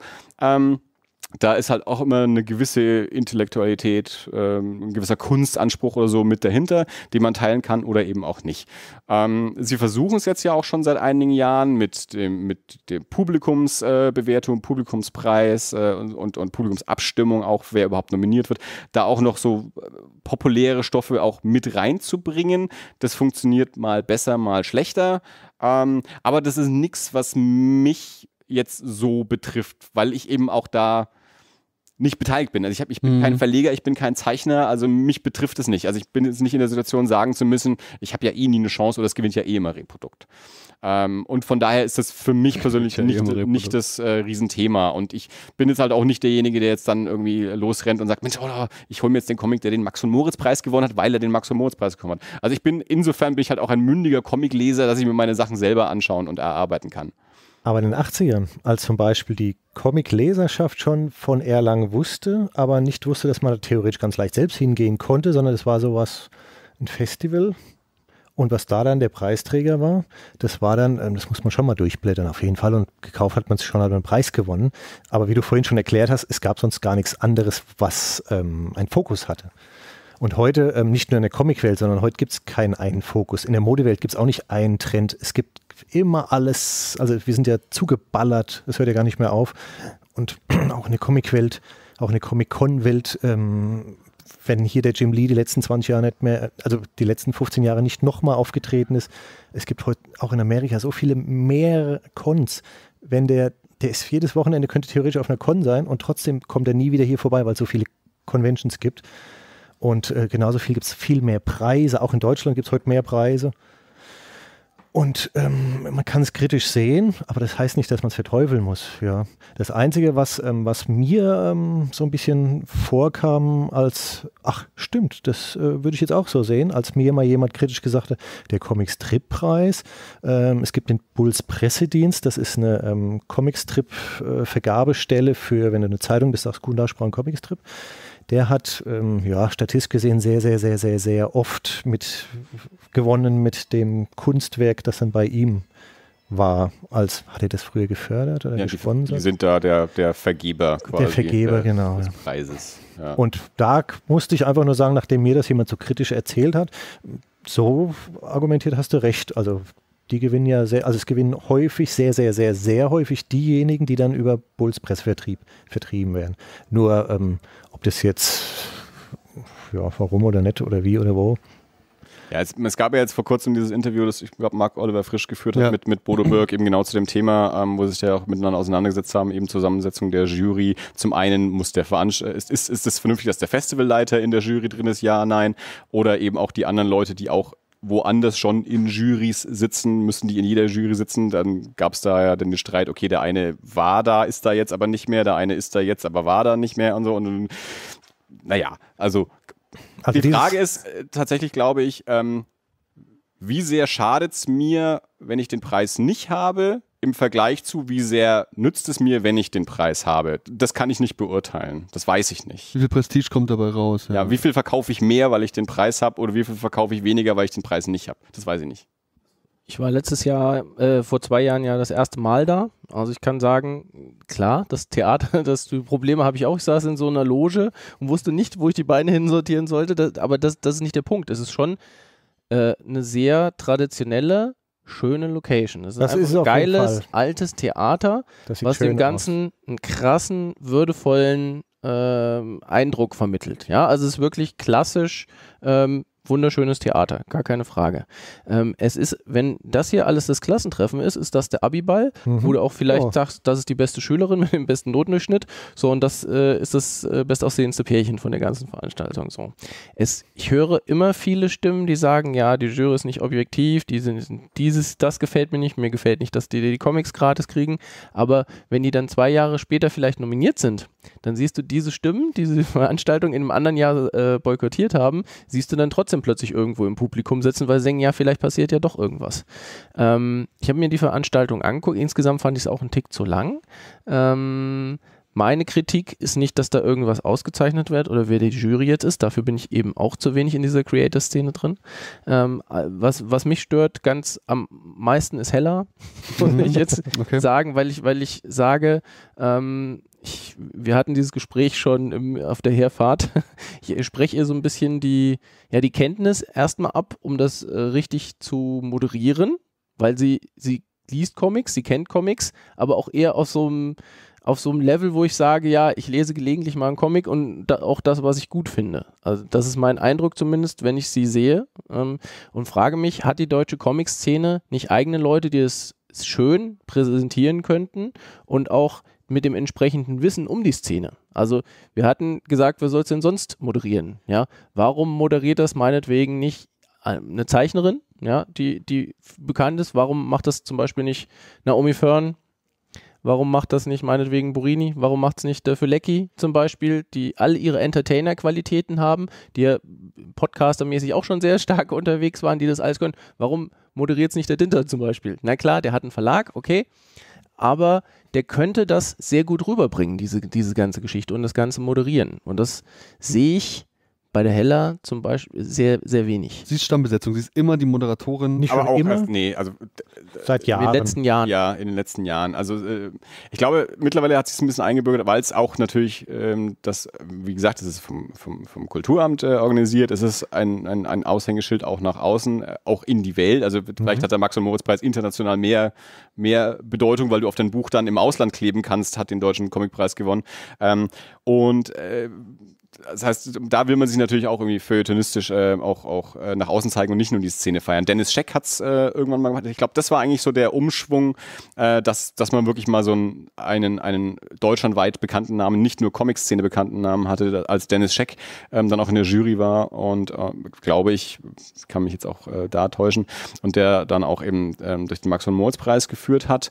Und dann ähm, hat es irgendwie heller von Sinn übernommen. Aber die Hella ist nicht in der Jury, die ist nur Nein. Moderatorin. Nein, nein, genau. Aber ich, ich meine, Dennis Scheck Ja. wäre auch in der Jury gewesen, aber da kann, Kann ich mich sein. jetzt auch täuschen. Also das kriege ich nicht mehr ganz hin.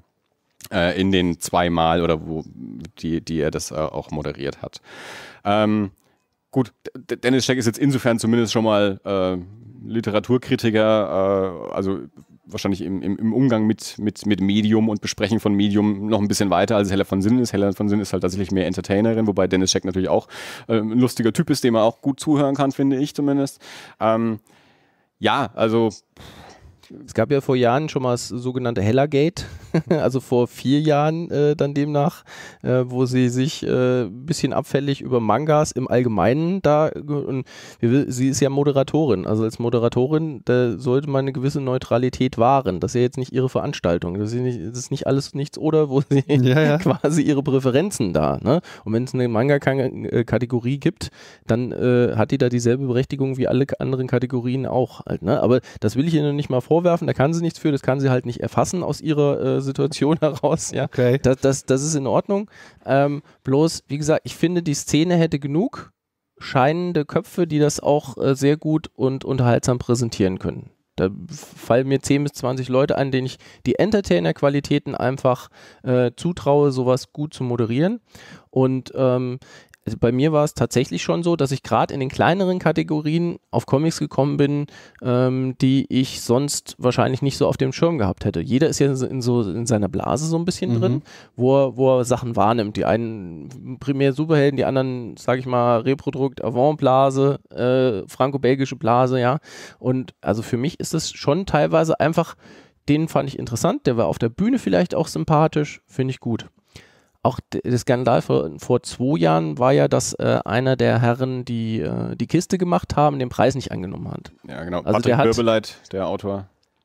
Der hat quasi vom, äh, ich glaube, vom Verlag von einem vorlesen lassen, dass er den Preis nicht annimmt. Finde ich persönlich ein bisschen schade, weil ähm, dann hätte das im Vorfeld vielleicht sagen müssen. Dann hätte sagen können, äh, ich möchte gar nicht erst in Kategorie sein, weil wer anders aus diesem Bereich hätte sich vielleicht über die Werbung gefreut, weil machen wir uns nichts vor, der deutsche Comicmarkt ist immer noch ein sehr kleiner Markt und wenn das pusht, dass das einfach 100, 200 Leute mehr in die Hand nehmen und eventuell auch kaufen, warum denn nicht? Ja, also das, ich sage mir immer, wenn es irgendwem was nützt, Warum denn nicht? Ja, ich, ich, ich weiß auch nicht, was es aber gedacht hat. Vielleicht wollte er auch wirklich für den Fall, dass er gewinnt, auch wirklich dieses Statement haben, weil es gab ja auch eine Begründung dafür. Die Begründung war ja nicht, ich will den Preis nicht haben, ich finde den Preis scheiße, sondern die Begründung war, solange nicht so Leute wie Ulfes Graupner, der das Upgrade zeichnet, also dass sozusagen so- solche Leute nicht berücksichtigt werden und auch nicht mal nominiert werden, hat der Preis nicht den, den Wert, den ich so einen Preis zurechnen möchte, dass ich ihn auch annehme. Aber Das, das, das haben ja dann alle Ulf, Ulfes Graupner dazu interviewt, der mit Oh Patrick noch arme nie Kerl. Gesprochen hatte vorher. Der, der wurde dann Typ. reingezogen und wusste überhaupt nichts davon. Ja, Das hat ihn gepusht. Aber die Lösung dafür ist ja nicht einfach. Also er findet jetzt diesen Namen als Beispiel ähm, erwähnenswert und dann sitzt links neben ihm jemanden, der findet aber einen anderen Namen erwähnenswert. Und du kannst nicht 400 Leute nominieren. Das- also das macht man nicht so. Ja. Es ist halt wie überall im Leben, es wird eine Stelle ausgeschrieben, jemand möchte einen bestimmten Job machen, die Stelle wird ausgeschrieben und äh, zehn Leute bewerben sich, einer gewinnt und es gibt zehn, die dann halt nicht gewinnen können. Aber hier hast du halt wenigstens noch den, äh, du wirst wenigstens als Nominierte noch gehandelt, was ich auch glaube, wa- Ja. wo du vielleicht sagen kannst, ich war schon mal für das und das nominiert, dass die Leute vielleicht deinen Namen schon mal da gelesen haben und dann sagen, vielleicht gucke ich da doch mal rein. das ist halt wieder der Punkt, du, du beschäftigen uns mit einem Medium, wie es bei Film, bei Musik ja überall auch der Fall ist, das in, in so viele Genres dann unterteilt ist, dass du an den Punkt kommst, okay, ich brauche jetzt also jemanden, einen guten Handwerker, der gut handwerklichen Abenteuercomic zeichnen kann. Dann habe ich irgendwie so einen Avantgardisten, der total spannend irgendwie neue Sachen irgendwie mit, mit Flächen macht, die man so noch nie gesehen hat. Und das sind dann, die sind dann beide für den besten Zeichner nominiert. Und wie vergleiche ich die denn jetzt halt so? Und dann komme ich an den Punkt, wo ich sage, okay, also ich brauche also Sparten. Dann mache ich also eine Sparte Abenteuercomic, dann mache ich eine Sparte Avantgarde, dann mache ich eine Sparte Manga. Und dann wird sie wieder total zergliedert irgendwie so, dass es auch schon wieder irgendwo beliebig dann wird. Und das ist halt genauso diese Komplexität, dieses Spannungsfeld, mit dem solche Preisverleihungen halt irgendwie umgehen müssen. Und dann irgendwie geht man damit um und kann damit dann halt auch nicht alle zufriedenstellen. Aha. Ich fand das von dir, was du sagtest, eben, es war äh, ganz zu Beginn auch ein ganz interessantes Argument mit dieser Frage. Wie wichtig ist der Preis für mein eigentliches Kaufverhalten? Ist der Preis für mich selbst ein Argument, mir einen Comic überhaupt mal zur Hand zu nehmen oder ihn vielleicht gar zu kaufen? Und ähm, jetzt kam in diesem Jahr, habe ich mich da gleich mit auseinandergesetzt und hatte äh, auch ein Gespräch mit zwei für den Publikumspreis nominierten ähm, Künstlern. Ich will jetzt mal keinen Namen nennen. Um es grob zu, kurz zu machen, der Preis ist absolut undurchsichtig. Es gibt, es fängt an vom Nominierungsverfahren für diesen Community-Preis, ob der noch zeitgemäß ist, bis hin zur Frage des Abstimmungsverfahrens. Wer kommt in die quasi finalen Abstimmungsphasen? Sind es die besten Comics oder einfach die Comics mit der größten Community? Das hat du ja quasi auch gerade gerade angeschnitten. Und ähm, die Künstler selber konnten mir nicht sagen, gut, es waren alles äh, junge, junge, junge äh, Kreative, ob das, ob die dann selbst mit ihrem Publikum, äh, mit ihrem, mit, ob dieser, diese quasi Entscheidung, die getroffen wird, des Publikumspreis, ob das ein eigenständiger Preis ist oder ob die dann konkurrieren mit anderen aus äh, von der Jury ausgewählten Comics. Ähm, also es ist sehr viel Intransparenz und bis zum Schluss weiß auch keiner, wie so die Zwischenstände sind. Äh, also ich finde es alles ein bisschen dubios, muss ich sagen. Aber so ist das. Also ein Zeichner hat ja nicht als Job ähm, zu gucken, wie eine Jury funktioniert. Ein Nee. Zeichner hat ja so einen, so einen Ja, anderen Schwerpunkt im Leben. Nochmal konkrete Frage. Gibt es zwei Preise? Gibt es den Hauptpreis und den Publikumspreis?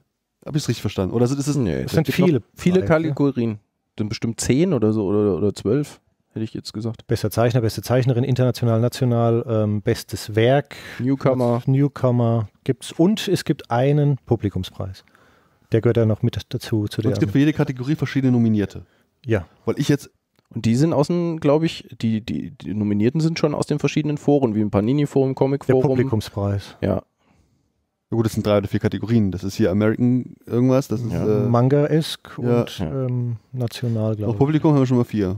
Ja. Okay. ich denke, das ist auch, auch die deutsche Comic-Szene ist äh, auch klein und viele kennen sich gegeneinander und da ist die, die, die Wahrscheinlichkeit, dass du manchmal vielleicht wen nicht magst, ja auch relativ groß. Wenn du vielleicht jemand dich mal verrissen hat, wenn der in der Jury sitzt oder sowas, Ja, sagst du, sein. warum sitzt der Idiot in der Jury? Also so könnte ich mir das jetzt vorstellen. Ähm, ich sag aber, da, da sitzen schon mehrere Leute drin, deren Meinung ich durchaus, wenn ich die irgendwo im Internet lese oder sei es nur bei Twitter, durchaus schätze. Nicht alle, ja, auch, auch ich habe da meine Präferenzen, aber da gibt es durchaus Leute, wo ich sage, jo, das ist definitiv jemand, der, der oder die weiß, ähm, ist das jetzt ein guter Comic oder ist das ein schlechter Comic? Die beschäftigen sich nämlich volle Kanne. Ja. Und wenn, Ja. wenn er das gut findet und Ja. sind Ja. zwei Jahre wieder später, äh, später wieder dabei, dann findet das vielleicht immer noch gut, warum die Jury wechseln. Also Ja. man könnte auch Gegenargumente bringen. Da bin ich gestern übrigens ein bisschen belehrt worden, auch voll, hat er voll die, die Einsicht. Ähm, mir stand, mir stand die Frage im Raum, diese Jury, wie die sich zusammensetzt und ob das, ob die Menschen in der Lage sind, äh, zu entscheiden, was jetzt ein guter Comic ist und ob die mich in irgendeiner Form mein Comic-Herz repräsentieren. Und äh, habe dann so ganz offensiv auch gefragt im, im Gespräch mit zwei Journalisten, ähm, warum sitzt da kein Comic-Tuber in der Jury, warum sitzt da kein Comic-Caster, ein Comic-Blogger? Und habe dann mal ganz dreist behauptet, dass wenn zum Beispiel der Emu von äh, Bizarro World Comics, wenn der einen Comic rezensiert, ob das nicht einen deutlich krasseren Impact hätte, als wenn das jetzt im Hanauer Stadtanzeiger drin steht oder was, ja. Und ähm, das mag schon sein, aber das war aus meiner Filterbubble gesprochen, weil das Argument ist dann schlichtweg, wenn im Spiegel Online für Ton irgendein äh, Comic rezensiert wird oder meinetwegen auch im Tagesspiegel, also eher noch vielleicht bei Spiegel Online, dann gehen am Folgetag die Bestellungen beim Verlag oder eben äh, bei großen Internetversandplattformen los und dann, das, das sind ganz andere Zahlen, die da abgerufen werden, wenn da eben mal in so einer, ähm, sag ich mal, für ein breiteres Publikum ausgerichteten äh, äh, Publikation da eine Rezension stattfindet, als eben in meiner Filterbubble, die jetzt eben sehr internetaffin ist.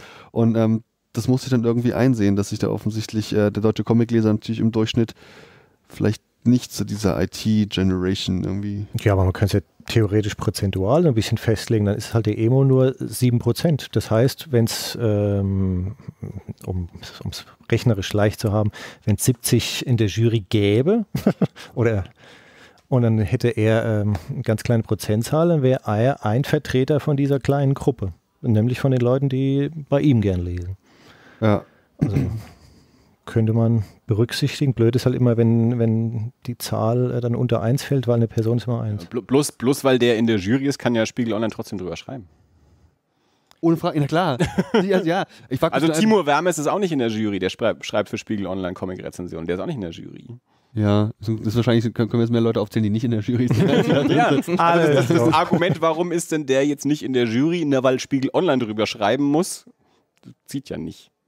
Also vielleicht habe ich jetzt auch was in Ich glaube, wir, haben ja- wir haben ja auch wieder das gleiche Problem, dass wir ein bisschen äh, bei den Nominierungen haben, weil wer legt denn fest, wer in die Jury sollte? Also dann da fangen wir einfach wieder eine Stufe früher an. Wer repräsentiert einfach am ehesten die Comicleserschaft?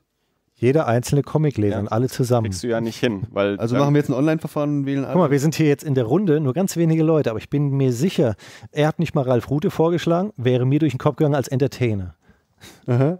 Also ich bin natürlich bei seinem Argument, es sollte eine Frau sein, was ist für mich attraktiver.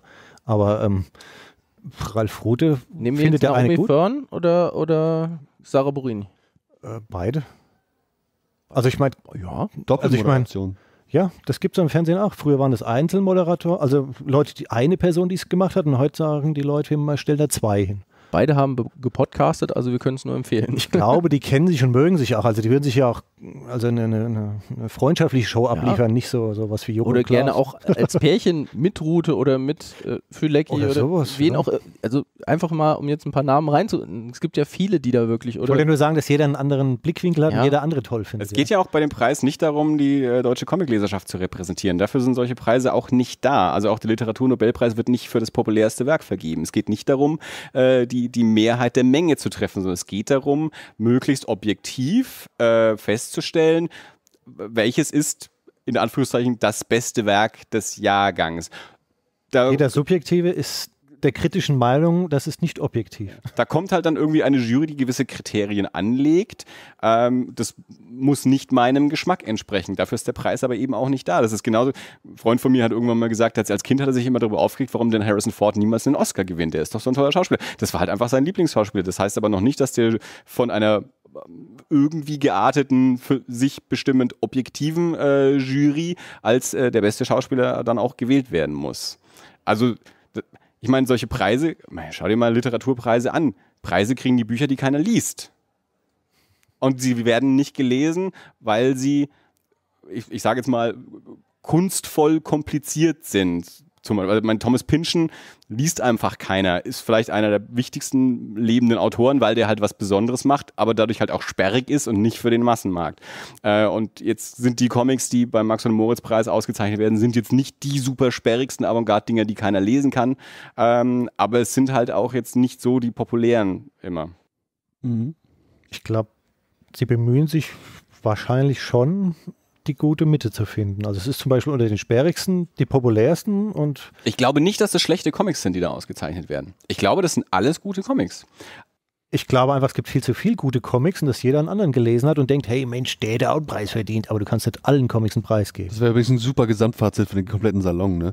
Es gibt so viele gute Comics und es gibt nicht annähernd genug Zeit, um die alle Ich war früher Verkäufer Ja. und wenn ich heute einen Verkäufer sehe, der die Comics gar nicht liest und sagt, der hier ist gut, dann finde ich das zum einen subjektiv unter aller Sau, zu anderen objektiv, der hat wahrscheinlich recht. Der Comic ist gut. Es gibt heute viel mehr gute Comics als früher. Also es, es gibt Verkäufer, die sagen, ich greife irgendwo ins Regal und sage, hier, kauf den, der ist nämlich echt gut. Also objektiv, der hat recht. Wahrscheinlich ist der Comic wirklich echt gut. Es gibt heute so viel, also einfach auch durch die Weiterentwicklung ähm, der Autoren, der Zeichner, von allem, Technik, Möglichkeiten, ähm, der ist wahrscheinlich gut. Aber ich finde es also als, als Konkurrenzverkäufer, ähm, ich habe alle Comics, die ich verkauft habe, also die ich, die ich empfohlen habe, gelesen und geliebt. Und deswegen finde ich das schade, dass sich andere Leute das Leben leichter machen. Aber ich sag dir, alle sagen mir, warum machst du dir das Leben so schwer? Will man nicht ein leichtes Leben haben? Liege ich nicht komplett falsch? Der Comic ist gut. Ich muss den nicht mal lesen. Die Verkaufszahlen beweisen es vielleicht bei dem anderen, einen oder anderen halt auch. Ne? Also das ist ja auch so ein Kriterium, was zumindest sehr objektiv eigentlich ist. Ne? Da, gut, dann bist du dann wahrscheinlich beim Asterix und beim Mickey Mouse. Ja, aber guck mal, Musik. Ein Lied, das irgendeine Tendenz hat, wird oft gespielt. Dadurch, Ja. dass es oft gespielt wird, geht es ins Gehirn von den Zuhörern. Ja. Ähm, Wenn es oft gespielt wird, zieht es größere und weitere Kreise und dann landet es natürlich auf der Nummer 1. Ja, und also ich behaupte mal, die meisten hier im Raum finden das, was in den aktuellen Charts wahrscheinlich oben ist, nicht unbedingt gut. Ähm, trotzdem kriegen die aber eine goldene Schallplatte, weil die doch einiges dann einfach umgesetzt haben, ob wir das scheiße finden oder nicht. Und bei Comics ist es natürlich ein bisschen schwieriger, weil du hast nicht immer die objektiven Zahlen, um es irgendwie auszufiltern. Und ähm, ja, Anspruch mag dann doch vielleicht mal ein Stilmittel sein, was man gerne hat. Bei der Musik auch. Also bei, bei allen Sachen Ja. ist es so, dass manche Leute gar nicht Wert drauf legen, unbedingt das meiste der Welt zu verkaufen. Andere legen gar nicht Wert, unbedingt einen Preis zu bekommen und Dritte legen äh, keinen Wert auf was Drittes. Ich finde eigentlich auch, da muss man von dieser, von dieser Preisverleihungsgeschichte auch immer wegzukommen.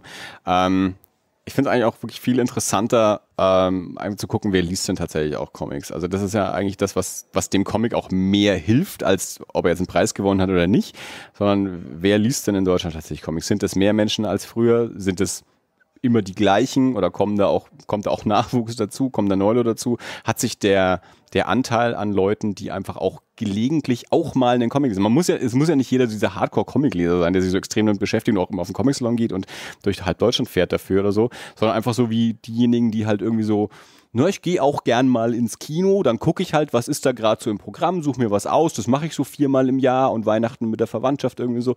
Ähm, Gibt's die auch beim Comic, die halt sagen, Mensch, so ab und zu schaue ich auch mal, was ist denn da so, gibt's da was Neues, Hübsches und dann lese ich mal was.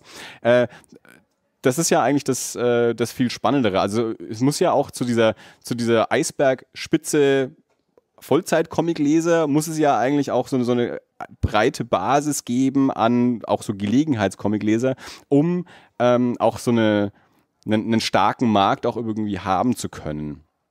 Ähm, und das finde ich äh, halt auch ähm, viel spannender und das auch auf dem, Salon teilweise mit zu beobachten, wie setzt sich da auch das Publikum denn da so zusammen? Wer kommt denn da tatsächlich? Ähm, und das hat mich zum Beispiel auch dieses Jahr sehr interessiert, dadurch, dass jetzt der Salon eben wieder so zentraler in der Stadt ist. Jetzt haben wir heute, also mein gestern war Feiertag, da war in der Stadt sowieso nichts los. Donnerstag ist ja immer Frohenleichnam der Starttag. Jetzt war also heute der erste Tag, wo auch normaler Stadtbetrieb sozusagen ist. Und weil Erlangen nun mal eine kleine Stadt ist, kriegt man den Salon da auch mit. Markus hat es ja auch schon vorher gesagt. Äh, München kriegst du es halt nicht mit, weil der ist halt Samstag in der Innenstadt immer voll. also ob der jetzt Ja. Salon noch mit dabei ist Ja. oder nicht, das fällt nicht auf. In Erlangen fällt es eben auf, dass so viel mehr Menschen in der Stadt sind. Ähm, und also da bin ich gespannt drauf, auch eben hi- hinterher dann so im, im Nachgespräch und in der Nachberichterstattung, ähm, ob das in der, in der Stadt irgendwie auch anders neu spannend wahrgenommen wurde, dass es jetzt eben ähm, hier so stattgefunden hat und ob das auch irgendwie was mit den ähm, weniger Besucherzahlen, vielleicht mehr Besucherzusammensetzung auch irgendwie gemacht hat, dass auch mehr Leute sich reingetraut haben. Ist natürlich ganz spannend ähm, dieses Jahr dadurch, dass eben ähm, Halle C äh, keinen Eintritt kostet. Ähm, also dass auch Leute, die Kurzfristig wurde es durch, gemacht. Ah, okay. Ich, ich, ich habe hab mich gewundert. Ich wusste es nämlich nicht. Ich bin, wirklich kurzfristig ich habe erst worden. gestern bin ich zur Halle hin, habe festgestellt, okay, es kontrolliert keiner anscheinend. Scheint wohl gratis zu sein. Ähm, und jetzt ist natürlich wieder Wetter. Äh, der Schlosspark auch ein gern so, so ein Ausflugsziel für eine, eine kleine Flanur äh, durch Mhm. den Erlanger Schlossgarten. Äh, wenn da natürlich jetzt auch noch so ein Zelt ist, wo die ganzen Hochschulen und, und Jungkünstler drin sitzen, äh, dass man da auch nochmal irgendwie einen Schwenk durchmacht, ähm, ist ja auch noch irgendwie ein ganz gutes Angebot, ähm, eben so an den, an den Zufallsvorbeikommer. Ähm, und das sind eigentlich so Sachen, ich weiß nicht, wie gut man da so Auswirkungen messen kann, aber das ist das, was ich eigentlich äh, interessant finde. Ähm, was, was, was macht das denn so beim, beim Fußvolk, das nicht speziell für den Salon jetzt irgendwie da ist? Wenn ich da mal kurz noch ein paar Zahlen reinballern darf aus dem Gespräch heute mit dem Steffen Volkmar, Pressesprecher von Panini und äh, gestern aus dem kurzen Gespräch mit dem äh, Festivalleiter. Also zum einen mal, was die Investition angeht. Die letzten Jahre lag die jährliche Investition, das sind alles offene Zahlen, war wohl kein Geheimnis, bei 400 oder 500.000 Euro äh, Gesamtaufwand finanziell. Dieses Jahr sind wir bei 750.000 Euro für äh, eben diese Zeltsituation. Ähm, dann meinte der Steffen, das, das sprach er aber von den letzten Veranstaltungen, dass die Besucherzahlen vom Salon seit vielen Jahren stabil sind. Es gibt keinen Zu- oder Ab Ablauf, es sind stabile Zahlen, woraus man ableiten kann, dass wir zum einen immer dieselben Gäste haben. Das ist auch ein bisschen der Eindruck dieser Runde hier, das sind alles Stammgäste. Ich vermute mal, ich bin in zwei Jahren auch wieder dabei. Ähm, und wir haben natürlich die Laufkundschaft, ja, also die es ja wohl einfach gibt jetzt. Äh, das darf man da schon nicht, nicht vergessen. Es gibt ja jetzt kein, kein Wachstum, obwohl mir heute bei dieser Händler-Podiumsdiskussion alle erzählen wollten, es gäbe einen Comic-Boom. Mal gucken, vielleicht kaufen einfach dieselben Leute immer mehr Comics. Ähm, und dann, das ist ein Raum, eine Zahl, die auch im Raum stand, auch im Gespräch heute, die ist so ein bisschen spekulativ, von der kann man sich äh, aus beiden Seiten in Richtung nähern, nämlich um die Frage, wie groß ist eigentlich die richtige Comic-Szene in Deutschland? Auch ein großes Thema, da werden wir uns jetzt nicht au- ergötzen zu äußern können, aber da spukt von verschiedenen Richtungen die Zahl 5000 Leute im Raum, bundesweit gemessen, am, an, am an echten Comic-Fans, was auch immer das im Detail ist, vermutlich Leute, die eine Handvoll Comics in ihrer Sammlung zu Hause stehen haben. Äh, und ähm, das ist halt natürlich ganz interessant, äh, so von welchen Größenordnungen man da überhaupt spricht, wenn man sich über diese ganzen Themen Gedanken macht und ähm, sich ja eben auch fragt, äh, wie setzt sich zum Beispiel das Publikum zusammen, wer kommt da hierher, äh, sind es vor allem eben auch, sind die Hälfte der Leute Erlanger Einwohner. Äh, das wollte ich einfach nur mal ein paar Zahlen in den Raum geballert haben. Meine, so, so ein Eintritt ist natürlich immer erstmal ein Hindernis. Also, wenn du 9 Euro zahlen musst, äh, um dir mal anzuschauen, was da so passiert und dich aber nur sehr peripher, wenn du überhaupt für Comic interessierst, dann gehst halt nicht rein und ähm, dann kriegst du halt auch nicht mit, was da passiert und, und kannst vielleicht lernen. Aber natürlich ist es trotzdem irgendwie eine, eine Außenwirkung, es wird auch darüber berichtet und so und das macht natürlich schon auch irgendwie eine, ja, eine, eine Sichtbarkeit, ähm, zumindest alle zwei Jahre äh, mal.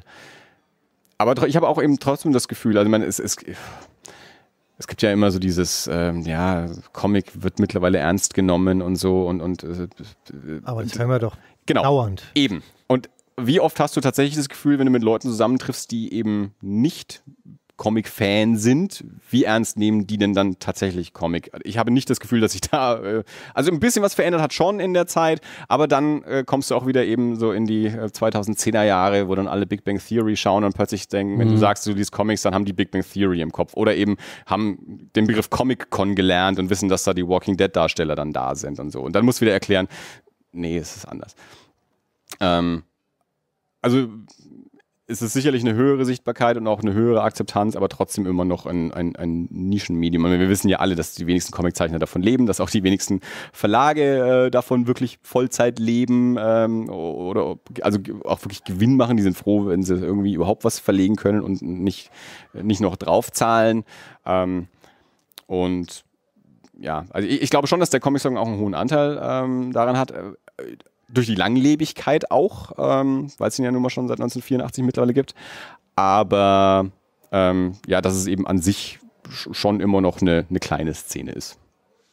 Wobei ich schon äh, in, in anderen Kanälen, sage ich jetzt mal, außerhalb der Comic-Szene feststelle, dass die einfach mal äh, einen Comic zum Rezensieren dabei haben. Also ich, es gibt zum Beispiel äh, auf YouTube äh, habe ich diverse Sachen im Angebot, wo wieder andere Sachen vorgeschlagen werden, die so ähnlich an, zum Beispiel Orkenspalter TV. Kennt ihr das? Die machen, zu, die machen hauptsächlich über Rollenspielsachen, viel DSA und so weiter und so fort. So. Und jetzt habe ich gesehen, guck irgendwas durch und da stell dir einfach mal zwischendurch einen Splitter-Comic vor zum, mit, mit Fantasy. Oder in letzter Zeit habe ich mich auch ein bisschen mit, mit Booktube beschäftigt, weil ich auch das öfter jetzt einfach mal normale Bücher mal lese. Oh. Ja, soweit ist es schon im Alter. Ne? Und auch da sind jetzt tatsächlich Leute dabei, irgendwelche, sag ich mal, jüngeren Mädels, die sonst immer so die neuesten äh, Fantasy-Love-Romane vorstellen, die stellen dann einfach mal mit einem Panini-Comic vor. Also die, ich würde sagen, die, die ähm, PR-Abteilungen bei den Verlagen, die sind dann schon sehr hart an so Leuten dran, die vielleicht genau eben nicht aus dieser vielleicht kleinen Szene sind, sondern die einfach einen, anderen ein, ein anderes Einzugsgebiet haben. Also das stelle ich wirklich in letzter Zeit, dass sehr, sehr viele, die eigentlich gar nichts mit Comic zu tun haben, plötzlich anfangen, was zu, zu rezensieren oder davon zu berichten, dass sie diesen oder jenen Comic gelesen haben und wie sie es fanden. Das haben die Jungs von Zwerchfeld doch gestern im Vortrag auch gesagt, die mit ihrem Toten-Comic äh, eben nicht auf der Comic-Convention gewesen sind und, und haben das mhm. vertickt, sondern die waren auf einer Horrormesse, war so eine Horror-Convention mhm. und haben dort auch ihr, halt ihren Comic mitgehabt und hatten mhm. da einen riesen, riesen, also verhältnismäßig großen Impact. Ich glaube, das ist auch wirklich die Reihenfolge, äh, die du machen musst, wenn du ähm, also eben genau andersrum, quasi das Thema mitbringen und dazu einen Comic machen und nicht einen Comic und dir ein Thema aussuchen. Das ist ja auch immer so die, ähm, die Frage, also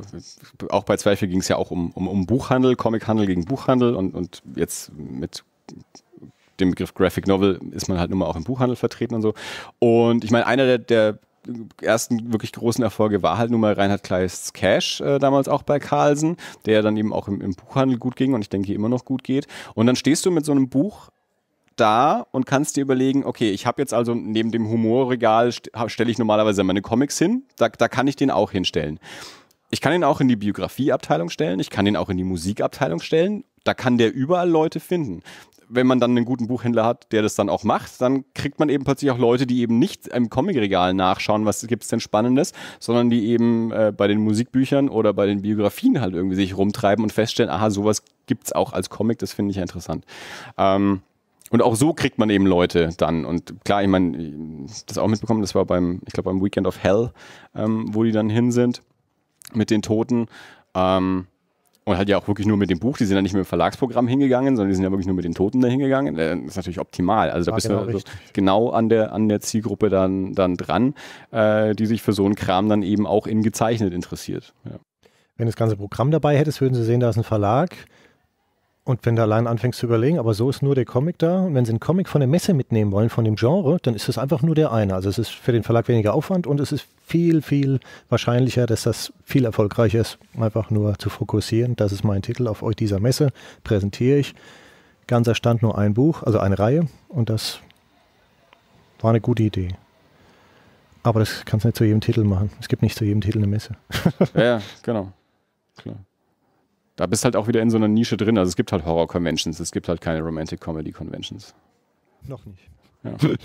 Das ist eine sehr interessante Vorstellung. Ne, ist so. Ich meine, das ist, ich, mein, ich, ich mache ja auch noch einen Horrorfilm-Podcast und es ist ja, äh, dieser, dieser Horror-Fangemeinde ist ja ähnlich wie die Comic-Fangemeinde auch eine, eine sehr, sehr leidenschaftliche und eine sehr, sehr involvierte und so. Und, und dementsprechend gibt es dann eben auch solche Conventions.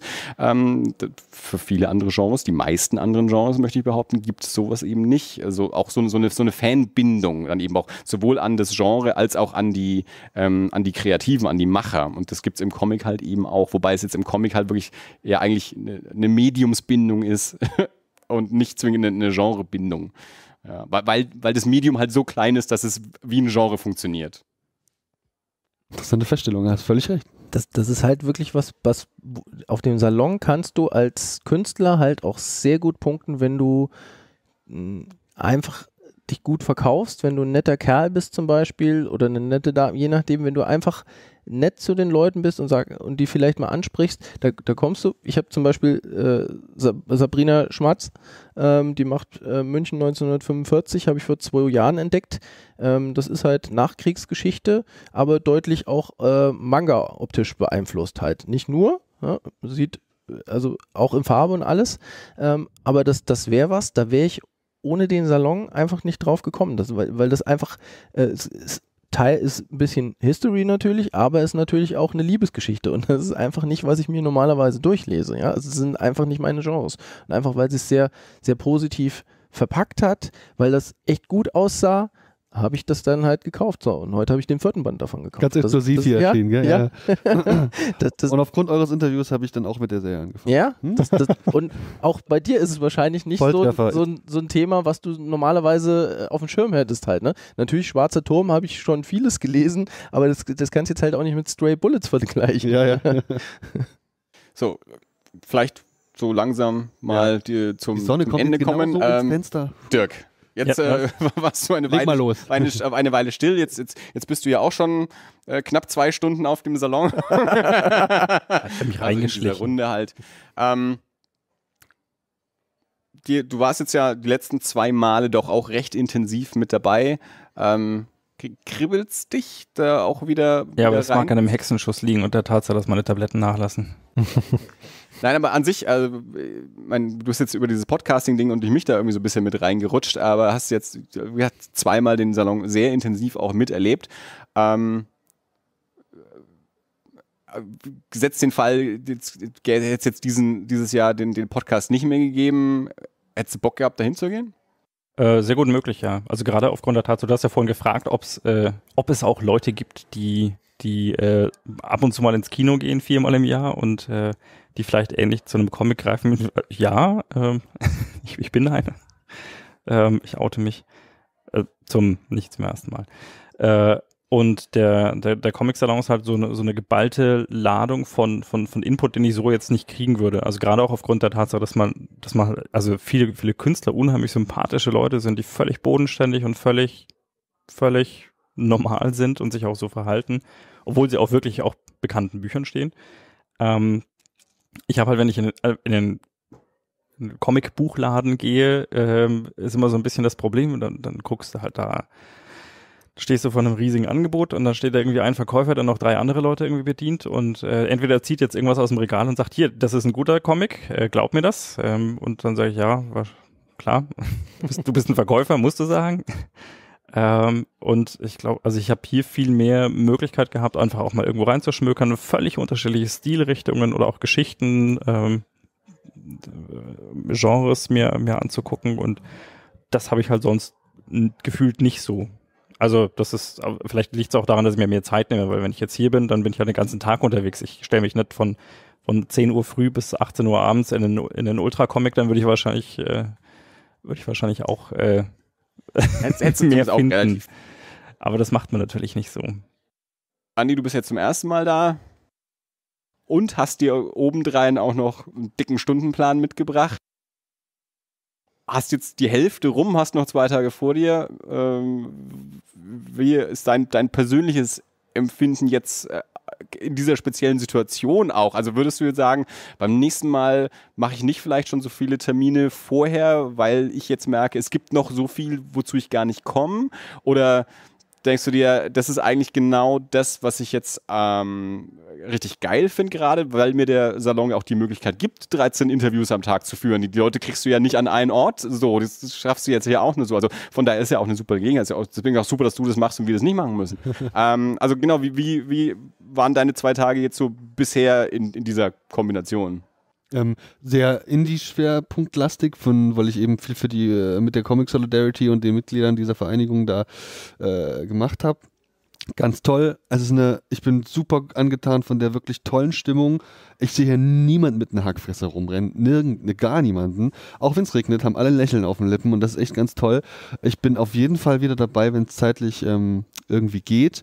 Ich bin überrascht und das liegt aber auch an dem, an dem, an dem Zeitkontingent, wie wenig Geld ich bis jetzt ausgegeben habe, weil ich dachte, ein bisschen was abgehoben. Ich dachte, da wird noch das eine oder andere gehen.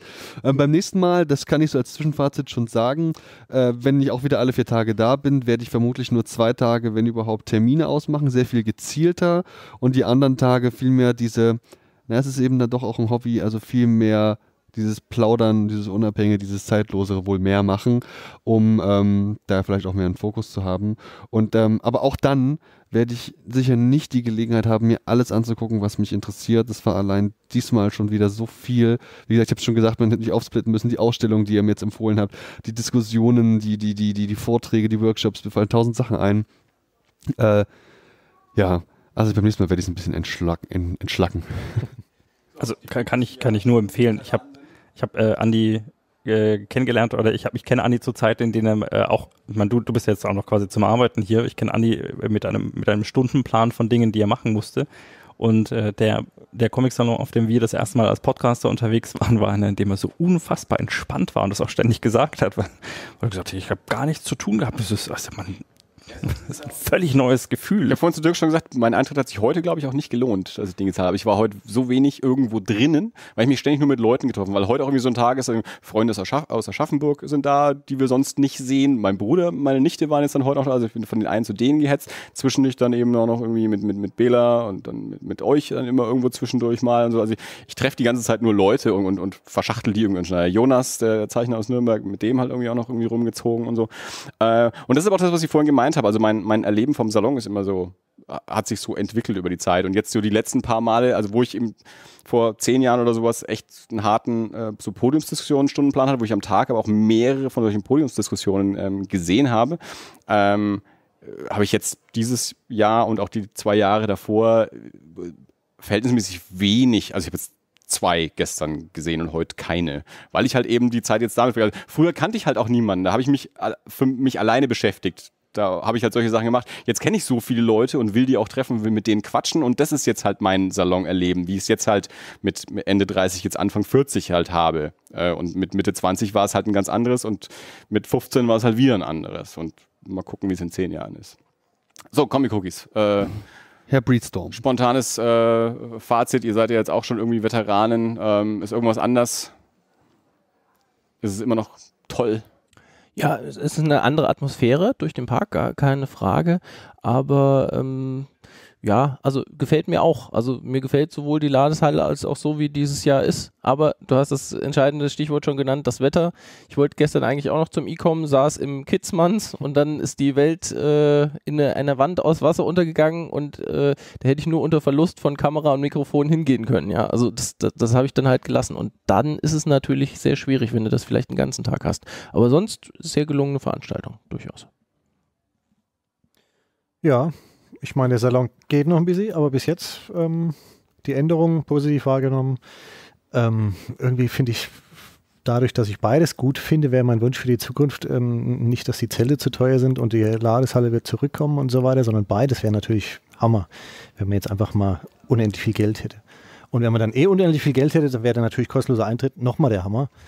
Das wäre mein Vorschlag für die Zukunft. Das, das, war noch der, der Unterschied, den ich vorhin nicht erwähnt habe, als es ursprünglich mal noch das Zelt auf dem Schlossplatz war. Der Kommission, da war auch der Eintritt noch gratis.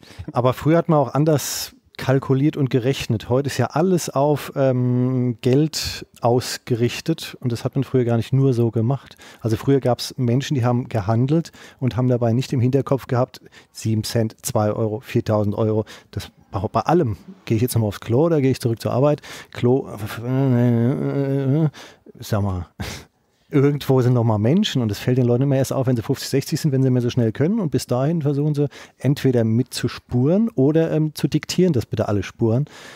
Ja, aber war ja auch alles kaputt früher nach dem Krieg halt, ne? Also, so, also jedenfalls äh, Fazit eigentlich wie immer, es ist jedem empfohlen, der sich für Comics interessiert, mal ähm, nach Erlangen zu kommen. Erlangen ist eine Reise wert. Wie, wie die Gäste jetzt auch festgestellt haben, ist auch eine schöne Stadt, wenn man sich auch mal aus der Ladeshalle raustraut und man auch mal 500 Meter in die andere Richtung geht und nicht nur zwischen Hotel und, und Ladeshalle irgendwie hin und her läuft, sondern sich auch mal den Schlossgarten anschaut zwischendurch. Ähm, Ja, ich finde super, dass es hier wieder geklappt hat. Also vielen Dank an, an Andi vom Telestammtisch, dass er äh, dieses Jahr dieses Treffen auch organisiert hat. Also auch ja, vor Monaten uns alle schon gefragt hat. Belästigt da hat. Und, nee, nee, ist ja auch super. Also wir, wir haben das vor vier Jahren gemacht, vor zwei Jahren haben wir es nicht richtig gemacht. Da haben wir dann zwar auch mal gefragt, wer ist denn überhaupt da. Da waren aber sehr wenige Podcaster da vor, vor zwei Jahren. Vor vier Jahren waren das mehr. Ähm, äh, von daher vielen Dank, dass du das angeleiert hast und organisiert hast und uns da auch mit eingeladen hast und äh, machen das natürlich auch jedes Mal äh, gerne wieder mit. Äh, ja, war eine, war eine launige Runde. Mir hat es Spaß gemacht. Ich hoffe euch auch allen. Und äh, man würde dann mal so im, im Namen der Runde äh, vielen Dank fürs Zuhören sagen äh, und hört natürlich entsprechend gerne bei äh, unseren ganzen Podcasts dann wieder rein, also beim Telestammtisch, bei den Comic Cookies und äh, bei das alles und natürlich auch noch bei den ganzen anderen Comic Podcastern, die jetzt heute nicht mit dabei sein konnten. Ähm, War das alles, Andi? wer, wer antwortet? so, so, er erkennt es wahrscheinlich, er kennt es wahrscheinlich nicht gut genug. Äh, äh, das war alles. Bis zum nächsten Mal. Tschö. Tschüss. La